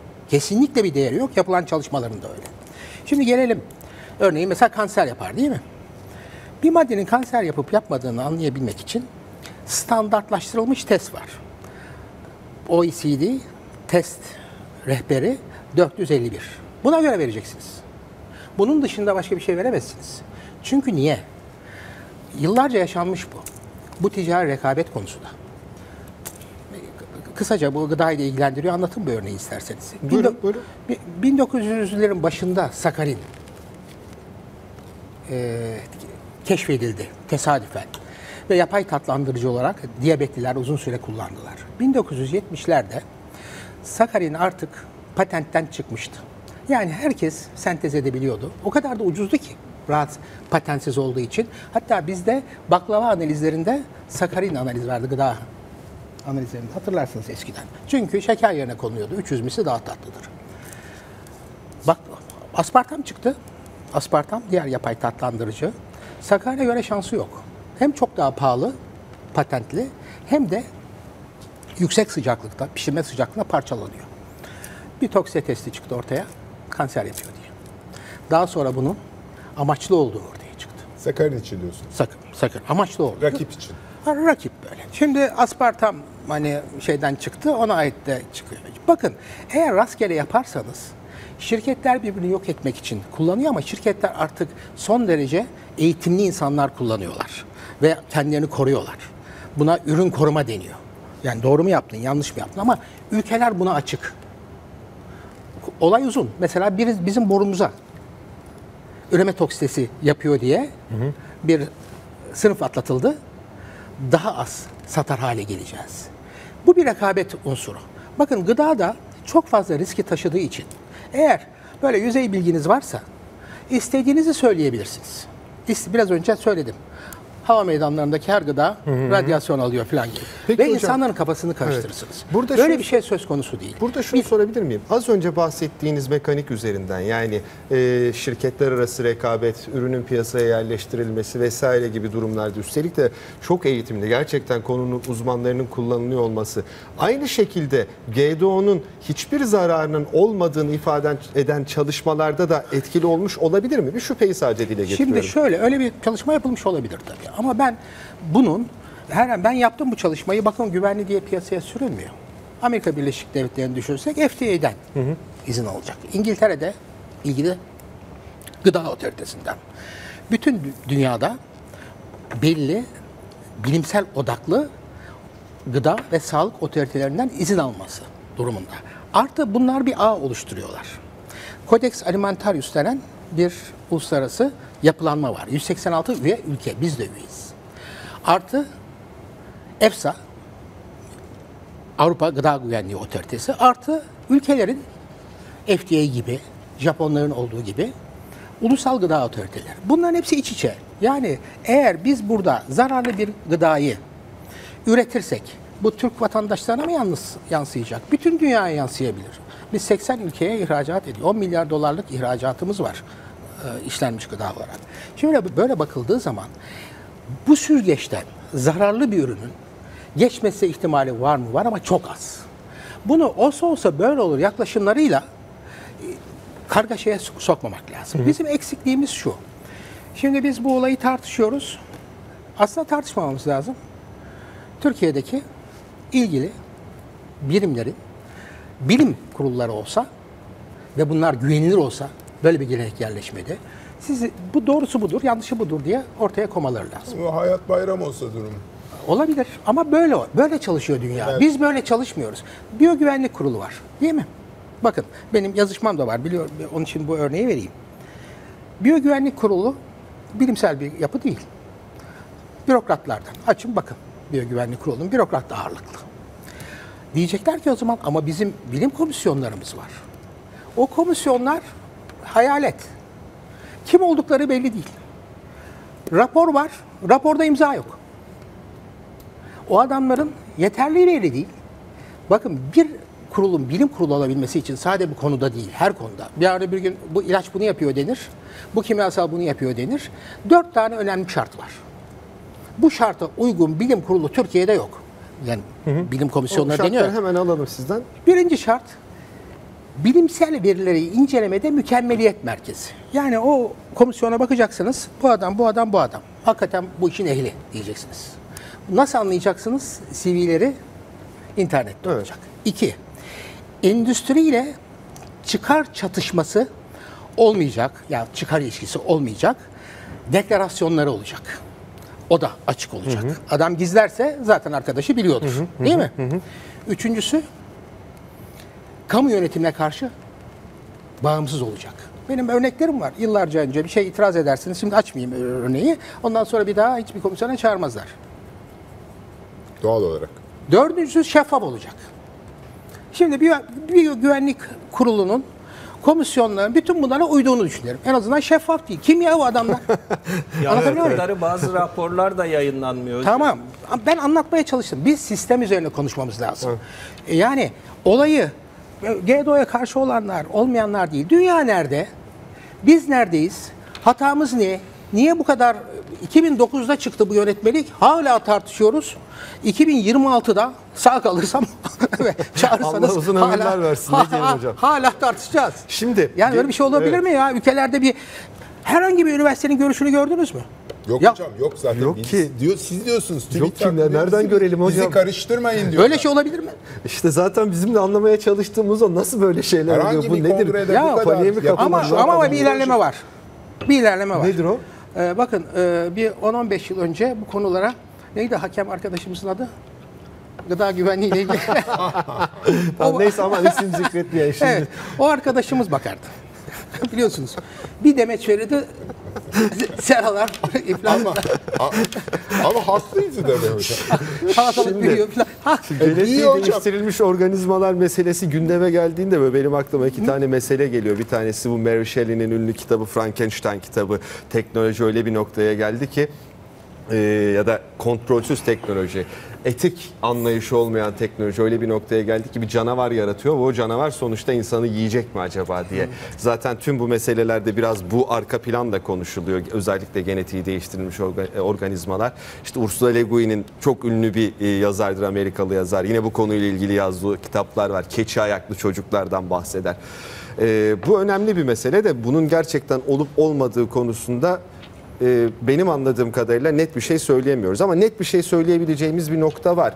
O da genetiği değiştirilmiş ürünlerin, organizmaların başta soya, mısır, kanola ve pamuk e, olmak üzere dünyadaki açlık sorununa da e, çözüm getirebileceği ifade ediliyor. Fakat çözüm getirebileceği ifade ediliyorken bir taraftan da işin içerisine dev gıda şirketleri, dev e, ilaç şirketleri, dev tohum şirketleri, bu tohumların, e, bu şirketlerin tohumları patentlemesi meselesi giriyor. Şimdi biraz da bu açıdan bizim için değerlendirir misiniz Ahmet Bey mesela bu genetiği değiştirilmiş organizmaları? Tüm bunlar e, açlığı ortadan kaldırmak için daha verimli, daha az kaynak kullanan tarım için mi yapılıyor yoksa tamamen karı maksimize etmek için mi yapılıyor ve o yüzden de bir sürü risk göz ardı mı ediliyor? Ee, ben size şunu sorup hemen devam edeyim cevabınızı aldıktan sonra. En çok aç hangi kıtada var? Tabii ki Afrika kıtasında. Çok güzel. Hep zenciler görüyoruz. O annesinin kucağında kolunu bile ha- hareket ettiremeyen, kaburgaları son derece rahat sayılabilen. Bakın Afrika'da sadece 3 tane ülkede GDO'lu tarım yapılıyor. Bir tanesi Güney Afrika. Beyazlar da var orada. Değişik bir ülke. Onu dışarıda bırakalım. Diğer ülke Somali ile Burkina Faso. Her ikisinde de GDO'lu pamuk tarımı yapılıyor. Şimdi GDO verimi arttıracak, açları doyuracak babında baktığımızda Somali dünyanın en büyük açlarına sahip ülkelerden bir tanesi. Dünya yardımlarının sürekli gittiği bir ülke ve ekilen GDO'lu pamuk. Bu bir örnek. Şimdi Giysiye ihtiyaçları var. Evet, giysiye ihtiyaçları var ki kemikleri gözükmesin diyebiliriz. Ee, bu işin acı yanı aslında espri yapılacak tarafı yok. Gerçekten acı yanı şöyle FAO'nun sayfasında e, bir zamanlar şu yayın vardı. Dünyadaki ne olduğunu da söyleyelim de bilmeyen seyircilerimiz Tabii, tabii. olabilirler. Şimdi yok ama kaldırıldı çok kısa sürede. Ee, dünyadaki açlığın çok kısa söylüyorum. Dünyadaki açlığın sebebi tarımsal üretim yetersizliği değil. Çeşitli nedenlerden kaynaklı üretilenin adil bölüşülememesi sorunu. Bugün baktığımızda Eylül ayı sonu itibarıyla 15 gün önce bakmıştım ben. Ee, dünya stoklarına. Önce şu ön bilgiyi verelim. Kuzey yarıküre buğday ağırlıklı beslenir, güney yarıküre pirinç ağırlıklı beslenir. Dünyada iki temel üründür bu. Bu ürünlerin stoklarına baktığımda Türkiye gibi 10 ülkeyi besleyecek e, buğday stoklarda bekliyor. Dünyada toplam aç sayısı 800-850 milyon civarı. Türkiye gibi 10 ülke demek ye- seks- 800 milyon civarı insan demek. Tür, e, pirince baktığımızda stoklarda bekleyen miktara Türkiye gibi 165 ülkeyi besleyecek pirinç var depolarda. Türkiye'nin nüfusunu 165 ile çarparsanız 13-14 milyar ediyor. Dünyanın nüfusu 7,5 milyar civarında. Hadi Güney Yarıküre Türkiye'den fazla pirinç tüketiyor deyin. Ne kadar fazla tüketecek? Yani şu- işin özü şu. Dünyada tarımsal üretim yetersizliğinden eee açlık sorunu yok.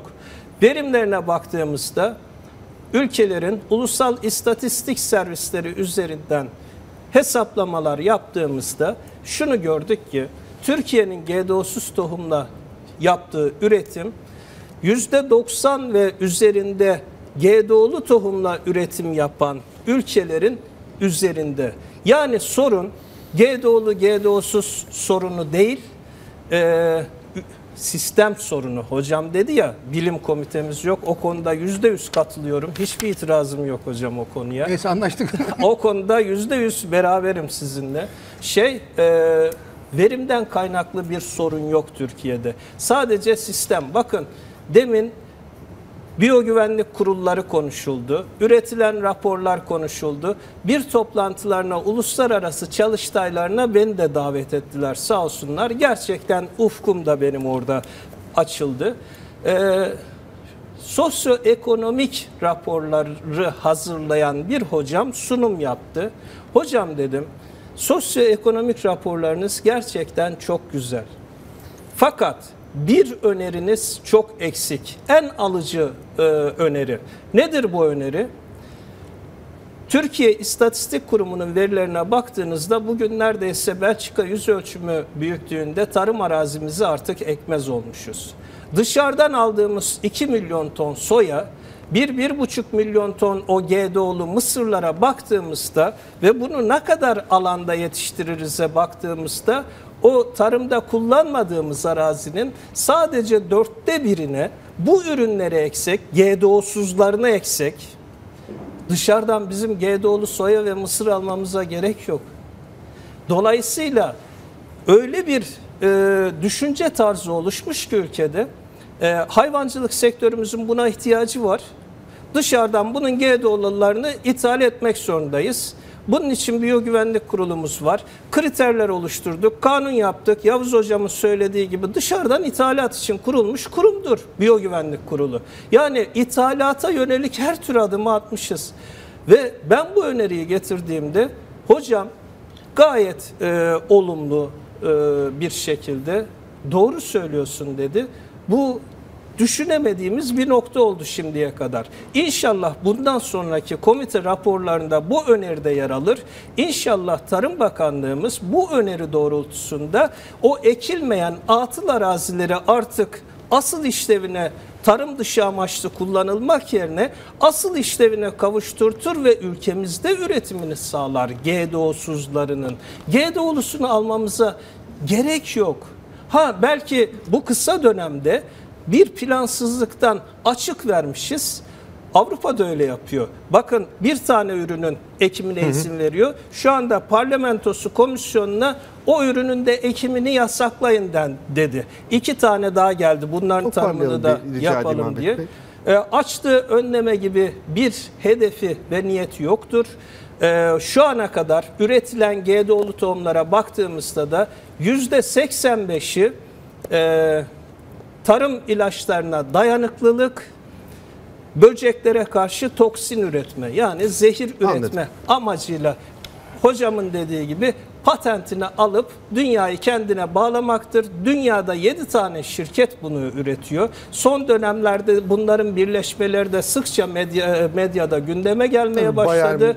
Bayer, 3 Monsanto şirket Bayer'in. Monsanto'yu, Dove'un DuPont'u, ChemChina'nın Adamayı alması teşebbüsleri gibi. Toparlayalım, Ve bir kısa iki- aramız var. 2-3 şirkete düştü. Yani GDO dediğiniz zaman bu birleşmeler gerçekleşirse 3 tane şirketin elinde bütün dünya açlığı, tokluğu, çiftçisi hepimiz kalmış olacak. Peki çok teşekkür ediyorum Ahmet Bey. Bunu da e, ifade etmiş olduk. Ama devam ederiz bu meseleye. Bir reklam aramız var ama o reklam arasının ardından gündem özel devam edecek.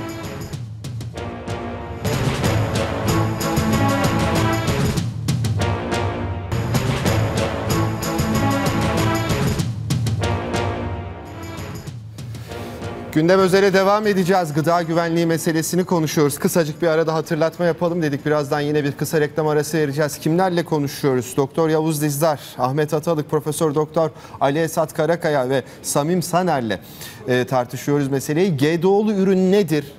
Nasıl bir şeydir? Nasıl korunulur? İnsan sağlığına etkisi nedir? Doğaya etkisi nedir? Şu ana kadar onları konuştuk. Birazcık daha devam edeceğiz reklam arasının hemen ardından. Ama ondan hemen sonra gündelik hayatımızda gerçekten yaşadığımız dönemde örneğin organik gıdalar gerçekten organik mi? Ne kadar güvenilebilir? Ya da gidip marketten, bakkaldan, pazardan satın aldığımız ürünler ne kadar güvenli gıdalar? Bunları anlamaya çalışacağız, tartışmaya çalışacağız. Reklamların hemen ardından.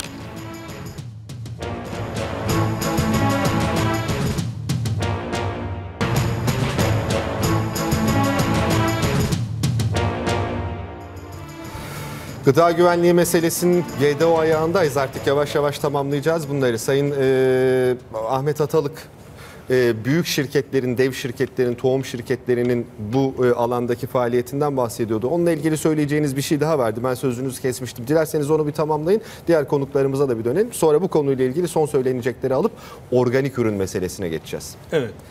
Ee, GDO tohum pazarının %90'a yakın bölümü Monsanto'nun elinde. Diğer bir çok uluslu şirket Bayer tarafından alınma görüşmeleri şu anda devam ediyor. Daha alınmış da değil. Bunun yanında diğer e, toplasanız 6-7'yi geçmeyen şirketler de birbirleriyle birleşme ya da satın alma gibi yollar seçiyorlar. Yakın zamanda 3'e düşecek. 3 tane şirketin düşecek. elinde yani, tohum ve bu tarım GDO'lu sektörü. tohum ne kadar yayılırsa, e, insanlar ne kadar GDO'lu tohuma bağımlı hale gelirlerse ki bu şirketler aynı zamanda tarım ilacında üreten şirketler, onu da son sözlerimde ilave edeyim. E, sadece 3-4 şirketin eline kalacak tüm dünya.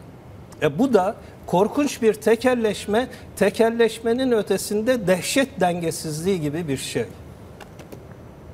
Peki başka problemler de var bu konuyla alakalı olarak. Onlarla da ben e, yine ta- tarım alanı olduğu için fikrinizi soracağım. Tabii.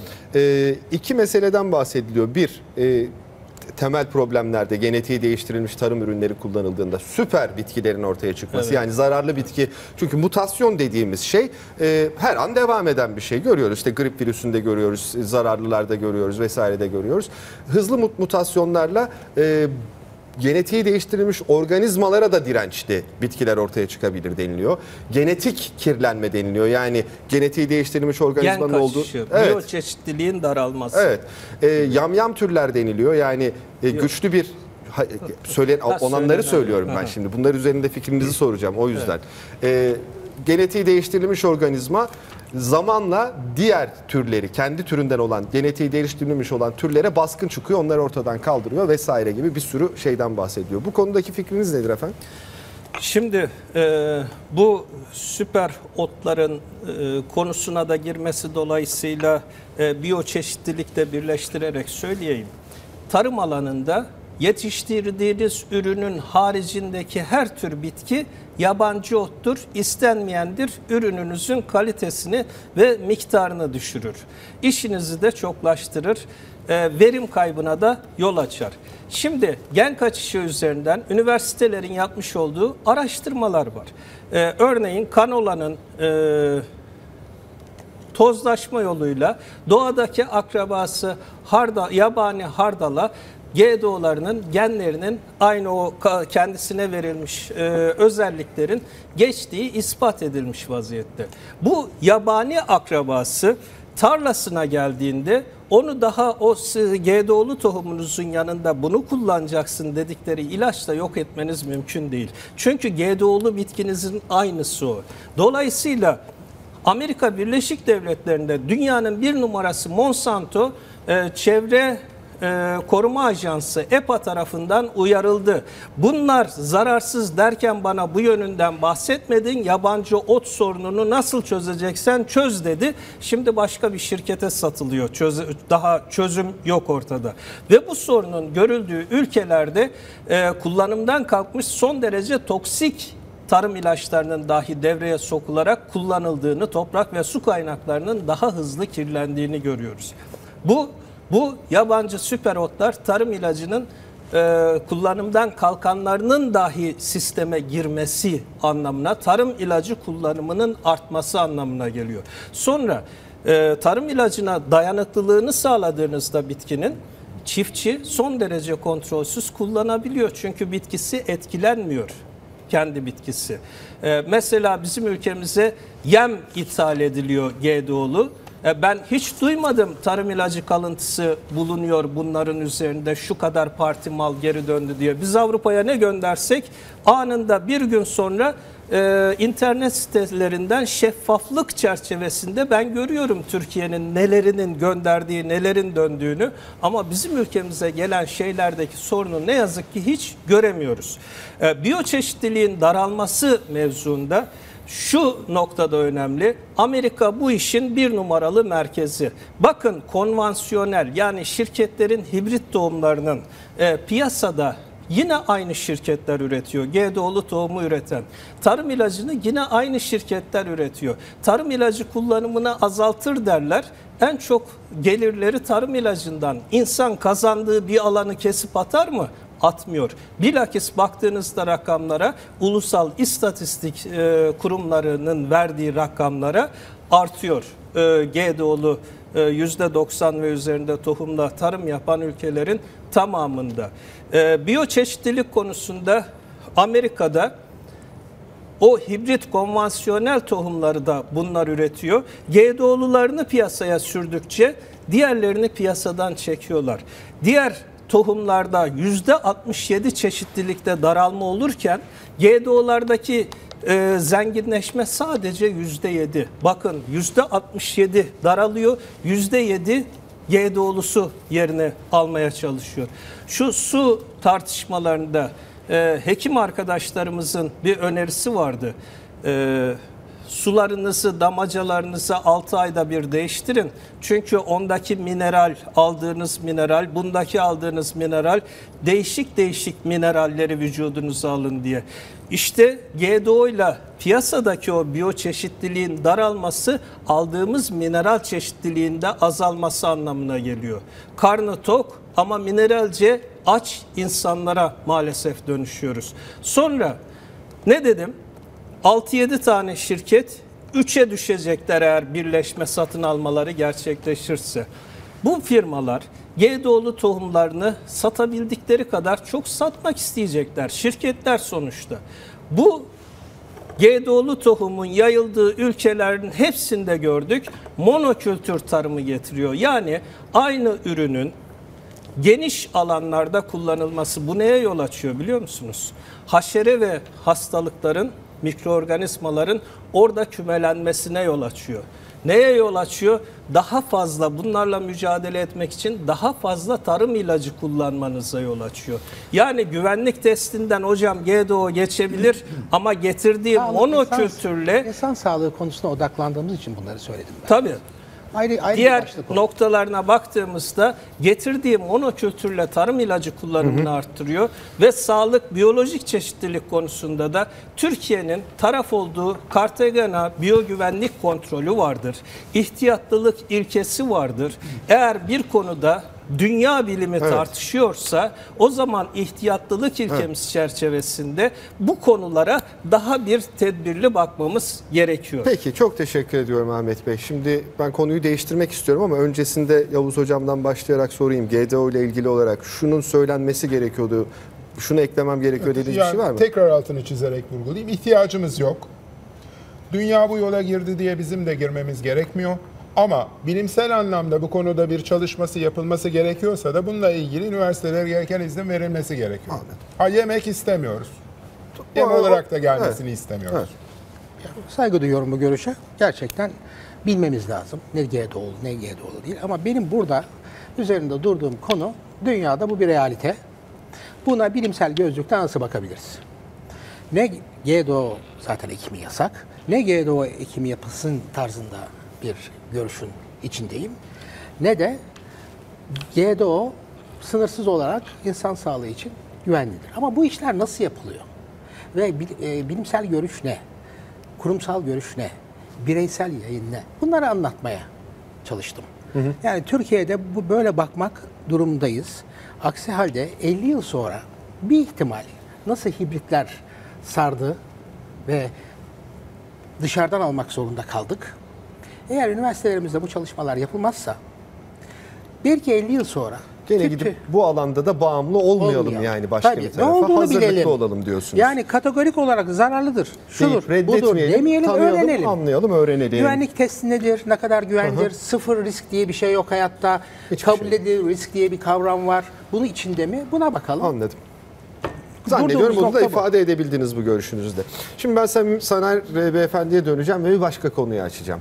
Son yıllarda özellikle de Türkiye'de de yani dünyanın birçok tarafında olduğu gibi e, gıda alanında yeni gelişen bir sektör söz konusu. Organik gıdalar sektörü.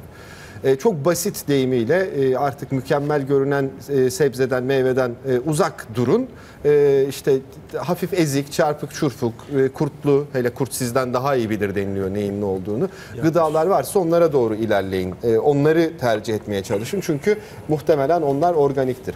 Şimdi hakikaten biz e, organik gıda tabii ki önemli bir şey. E, ta- tarım ilacından, böcek ilacından, zararlı bitki ilacından ya da e, gübreden, suni gübreden uzak yetiştirilmiş bir şey olsa çok iyi olur da gerçekten Türkiye'de ve dünyada ama asıl bizi Türkiye ilgilendiriyor. Durum böyle mi? Gördüğümüz her şey, her organik denilen ürün organik mi? E, çünkü artık kitlesel kullanıma da sunuldu bunlar ve gerçekten önemli bir e, halk sağlığı meselesi bir taraftan da. Buyurun efendim.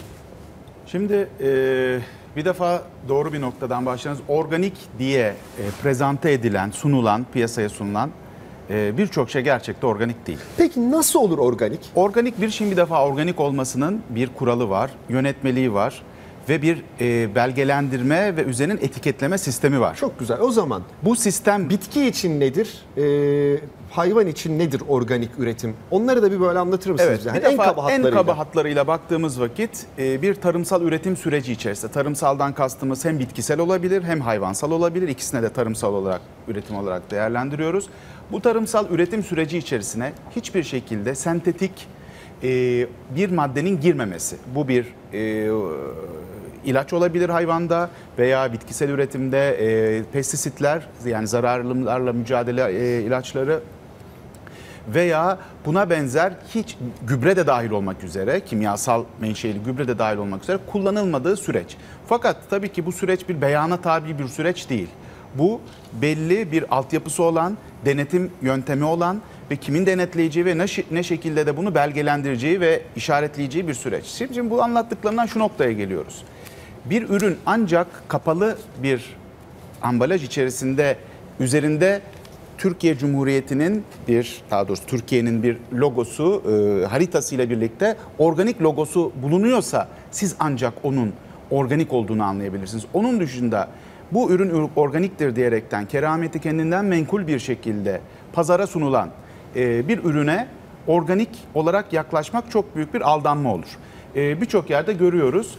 Sizin de söylediğiniz gibi çarık çürkük e, bozulmuş e, atıkları toplayıp hatta e, hurda parasına toplayıp daha sonra bunları organik olarak satan uyanıklar da çıkıyor. Çünkü öyle bir algı oluştu toplumda.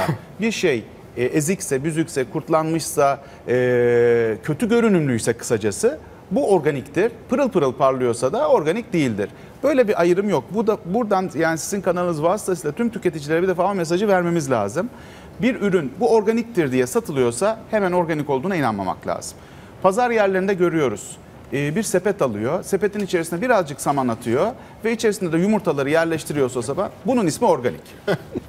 Ee, veya yine bir pazar yerinde e, şalvarıyla kaf- kafasında kasketiyle oturduysa bir şeyin başında satmaya çalışıyorsa bir yere de çömeldiyse "Aa, köyümden geldi diyoruz.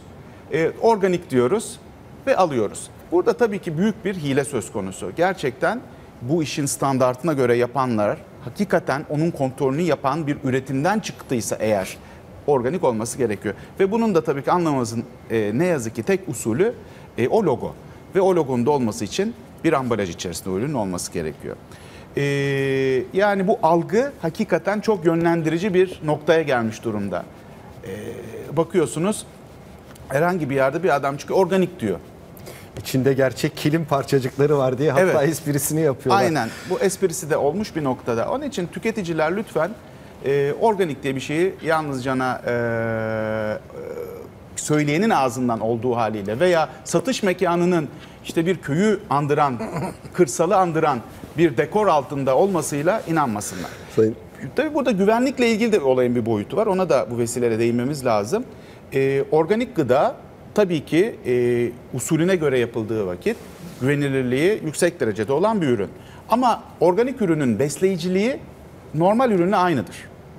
Yani besleyicilik saniye, açısından önemli. yani içerdiği vitamini açısından, ürünün içerdiği mineral değeri, ürünün içerdiği protein e, profili gibi beslenmesel değerler açısından, beslenme ögeleri açısından organikle konvansiyonel ürün arasında bir fark yok. Bu Yok. çok birçok bilimsel çalışma var bunu bu şekilde ve kurumsal bilim- bilimsel çalışmadır bunların hepsi de. Ben hemen şimdi Yavuz Hocama döneceğim bu konuyla alakalı Ha, olarak. pardon ben Çünkü- yalnız e, Evet, bir buyurun. beslenme Tamam. boyutu var bir de güvenlik boyutu var. O ikisinden de bahsedeyim ondan Buyurun, sonra tamam. şey yapalım. Öyle beslenme boyutu Hoca'ya. açısından baktığımız vakit güvenlik boyutu açısından baktığımız vakitte e, tabii ki organik standartını almış bir ürünle e, herhangi bir ürünü karşılaştırmamak lazım. E, kontrolsüz üretilmiş bir ürünü tabii ki mukayese edemezsiniz. Her halükarda organik ürün e, gayet tabii daha güvenlik standartı yüksek olacaktır. Onunla mukayese edeceğiniz şey iyi tarımsal uygulamalar olabilir. İyi tarımsal uygulamalar dediğimiz şey şudur. İyi tarımsal uygulamalarda e, zira ilaç da kullanılır, gübre de kullanılır. Fakat bunun yeri, yöntemi, şekli ve miktarı belirlidir. Yani siz tarım ilacını hangi ürüne hangi tarım ilacı atılacağı bellidir. Hangi miktarda atılacağı bellidir ve ne zaman atılacağı bellidir. Bu kurallara uyduğunuz vakit işte yasaların, mevzuatın izin verdiği e, en yüksek kalıntı miktarını yakalayabilirsiniz. Eğer ona uymazsanız kalıntılarınızın miktarı daha yüksek olur ve bu da çok ciddi sağlık sorunlarına bir potansiyel tehlike oluşturur. Peki burada o zaman bir unutmayalım devam edeceğiz. Soracağım bir başka soru daha var da e, geçen sizle ilaç programı yapıyorken Yavuz Hocam konuşmuştuk da özellikle hani bu yeni ve kitlesel üretilen, hızlı üretilen e, ürünlerin e, besin değerlerinin istesek de istemesek de doğal olarak düştüğü gibi bir mutlaka sapacaktır. Bunu şöyle bir başlayayım. Tabii. Ee, organik meselesi aslında biraz insan buluşu, insanın yapay olarak sunduğu bir çözüm. Şimdi Birleşik Devletler kanunu tanımlarken şöyle diyor. Eğer diyor bir tarımsal faaliyete girmişsen, eline çapayı bilmem neyi almışsan, kazmışsan, istediğin kadar en temiz toprağı da yap. Bu artık diyor senin faaliyetindir diyor. Dolayısıyla buna doğal diyemezsin diyor. E diyorsun. O zaman diyor buna organik diyebiliriz diyor. Orada da diyor belli şeyleri yapabilirsin. Buna müsaade ediyoruz. Belli şeylerin de dışında kalmak zorundasın. Şunu şunu kullanabilirsin. ilaç kullanılır diyor. Ama bunu bunu kullanamazsın diyor. Şu kadardan önce bu ürünü buradan devşiremezsin diyor. Bu tanım içinde kal lütfen diyor. Ondan sonra da bir öneride bulunuyor. Biz bunu senin için sertifikalandıralım diyor. Sertifikalandırma meselesi işin içine girince başka bir ticari alanı ister istemez açıyor. Bu hem ticari olarak bir gider hem de bir marifet meselesi. Çünkü küçük köylü üretici istediği kadar iyi üretim yapsın tarlasında işte gerçek gübre kullansın bilmem ne yapsın. Bunu yakalayıp da sertifikalandırması mümkün değil. Beceremiyor. Bir de ücreti var. İşte 700 euro, 1000 dolar bir, bir para ödüyorsunuz. Şirket geliyor, denetliyor, olur diyor. Bir sene sonra bunun tekrar uzatılması için bir daha ziyaret vesaire vesaire uzuyor. Adam tabii ki Türkiye'de kolay çözümü buluyor. Bir sepet buluyor, içine biraz saman atıyor. Ondan sonra fabrikadan aldığı şeylerin üstüne biraz pislik vesaire bulaştırıp bunu organik olarak da satıyor. E şimdi Organik mi bu yani şimdi? Değil. Ama gayet güzel de yapıyor. Çünkü buranın coğrafyası bu tür yan yollar açısından çok kıvraktır. E, Anında açarlar. Siz e, gördüğüm göz bizatihi gördüğüm mesela Karaköy'de adam e, bildiğiniz o hurdacı arabasının üstüne salep koymuş. Salep satıyor. Adam ne yapsın? Üstüne organik yazıyor. E, başka bir yere gidiyorsunuz, sonra pazara gidiyorsunuz organik diyor. Hakikaten öyle midir bilmiyorsunuz. Ama organik ürünle gerçek ürün arasında fark var. Organik ürünle kimyasal olarak bir üretim aşaması geçirmiş olan ürün arasında da fark var. Bunu nereden anlıyorsunuz? Tadından anlıyorsunuz, kokusundan anlıyorsunuz. Tat ve koku aroma dediğimiz kavram ürünün gerçek olması durumuna en yakın olan belirteçlerdir. Siz bunu eğer algılayabiliyorsanız hani domatesin eskiden sapı çok güzel kokuyordu şimdi yok. E yok kokmaz tabii bu sera üretiminde olmayacak olan bir şey. Zehirleyici midir? Öyle değildir. Sürekli bundan beslenirseniz bir eksiklik oluşur mu? Tabii oluşabilir efendim. Oradan alabileceğiniz aromatik bilmem neleri alamazsanız, başka üründen de alamıyorsanız, e, öbüründen de alamıyorsanız bu zaman içerisinde sizde bir eksiklik, bir depresyon hali de meydana getirebilir. Dolayısıyla üretimi olabildiğince doğasının içinde tutmak zorundasınız. Ama ben bu şekilde serada 4-5 ton alıyorum halbuki açık havada 1 ton alıyorum diye düşünen üretici de ister istemez öbürüne kaymak durumunda. Bu durumda siz otorite olarak el koyarsınız dersiniz ki kardeşim bunu bunu yapabilirsin ama şunu şunu yapamazsın. Bu içinde kalırsa yine sorun olmaz. Ama kendi haline akışına bırakırsanız gereken düzenlemeleri yapmaz, kontrol etmezseniz çünkü kontrol edilmiyor. Ondan kesinlikle eminiz. Bundan iki hafta önce analiz alanında çalışan arkadaşlarımızla oturduk konuştuk. Bu Temmuz başında çıkartılmış olan yönergeyle artık bir şey analiz istenmediğini söylediler. Yani yapmayın diyor devlet. Analiz analiz yapmayın başımıza iş çıkartmayın. Nasıl az evvel Ali Esat Hoca söyledi işte bizi bu işe bulaştırmayın. Bunlar da analiz yapmayın diyor. Halbuki yurt dışına giden üründe kaç tane gereken madde varsa bütünlüğün analizi yapılıyormuş. Türkiye'de bunun %10'u yapılıyormuş. Şimdi o %10'unu da yapmayın geldi. Bunu niye ister bir Tarım Bakanlığı? Bunu ben bilmiyorum. Ben yani niye? hocam. e, devam edin hemen. E, organik ürünlerde nasıl olsa tarım ilacı kullanılmıyor. O yüzden yapmaya gerek yok. Temelde Yok, bu var. organik meselesinde değil. Bu genel olarak analiz istemiyoruz şeklinde bir açıklama. Yani GDO'da bakmayın, ona da bakmayın, buna da bakmayın. Çünkü diyorlar biz bakıyoruz rastlantısal olarak üretici de rahatsız diyorlar. Analiz yapan laboratuvarlar zaten rahatsız da ama esas üretici rahatsız. Çünkü analize müsaade etmemek, analiz istememek ya da analiz sonucunu açıklatmamak gibi bir durum var. E, bakanlık hakikaten bu konulara hakimdir ama zaman içerisinde onlarda da güzel bir takım değişiklikler oluyor. Bu tür engelleri koyan, bu tür vatandaşın hani beslenmesi karşısında duran insanları içlerinden bir şekilde ayıklamaya başladılar. Onu da söyleyeyim size. Yani bunlar e, verilmiş olan bilgiler. Niye? Çünkü devletin tepesi de bu konudan rahatsız. Görüyorlar onlar da bir takım şeyler yolunda gitmiyor. O yolunda gitmeyen şeyler için zaman zaman haberleşiliyor bir şekilde ve düzenlemeye gitmek yönünde bir eğilim var. Bu konuda üreticinin açılan boşluğu doldurması gerekiyor. Daha küçük üretici bizim için önemli olan. Şimdi biz bu kadar gıda meselesini konuşuyoruz ama gıda bizim için önemli bir konu. Türkiye konumu açısından, iklimi açısından aslında çok fazla etrafıyla bunun ticaretini yapabilecek konumda. Pek çok ülkeyle zaten komşuluk gereği olarak da bunu yapabiliyoruz. Ama bizim bunu sahiplenirken endüstriyel formattan biraz çıkartıp bir şekilde küçük çiftçiye yol açmamız gerekiyor. Aksi takdirde sürdürülebilirliği yok. Büyük büyük büyük büyük üretimler. Ha bunun çözümü kimden gelecek? Şu ana kadar akademiden bir çözüm önerisi yok. Zaten ilgi alanını oluşturmuyor. Ben o zaman dönüyorum yine endüstriye ben size güveniyorum diyorum. Daha önce biz bunların toplantılarını da yaptık. Arama toplantı endüstriyle yapıyoruz toplantıyı. Dedim siz yerelleşip yerel üreticilere bir şekilde yol göstereceksiniz. Yani Türkiye'nin sadece bir tarafında süt üretmek yerine küçük işletmeleri siz baştan oluşturacaksınız. Belki de kendi şahsi bu konudaki halkın nezdinde olan olumlu intibanızı onlara bir şekilde transfer edeceksiniz ama devlet de bunu denetlemeyecek. Siz yapacaksınız. Beklentim bundan sonrası için budur. Çünkü gıda konusunda Türkiye'nin geleceği var. Evet. Pek çok açıdan önümüz tıkalı olsa bile gıda konusunda bölgede biz hakimiz. Burada sizin söylediğinize müsaadenizle ufak bir ilave Sayın yapmak Bey, istiyorum. Çok özür dilerim ama e, kritik bir gündem içerisindeyiz. Siz de tahmin ediyorsunuzdur. O kritik gündem içerisinde beklediğimiz çok kritik bir gelişme vardı. O gelişme yaşanmak üzere hatta başladı da diyebiliriz. Musul operasyonundan bahsediyoruz sevgili seyirciler.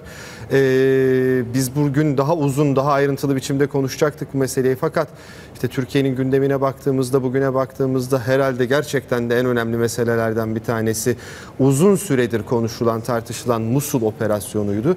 Ee, o konuyla ilgili özel yayına geçeceğiz birazdan. O özel yayına geçmek üzere bugün özür dileyerek, affınıza sığınarak, hoşgörünüze sığınarak gündem özeli tamamlıyoruz efendim. Hoşçakalın.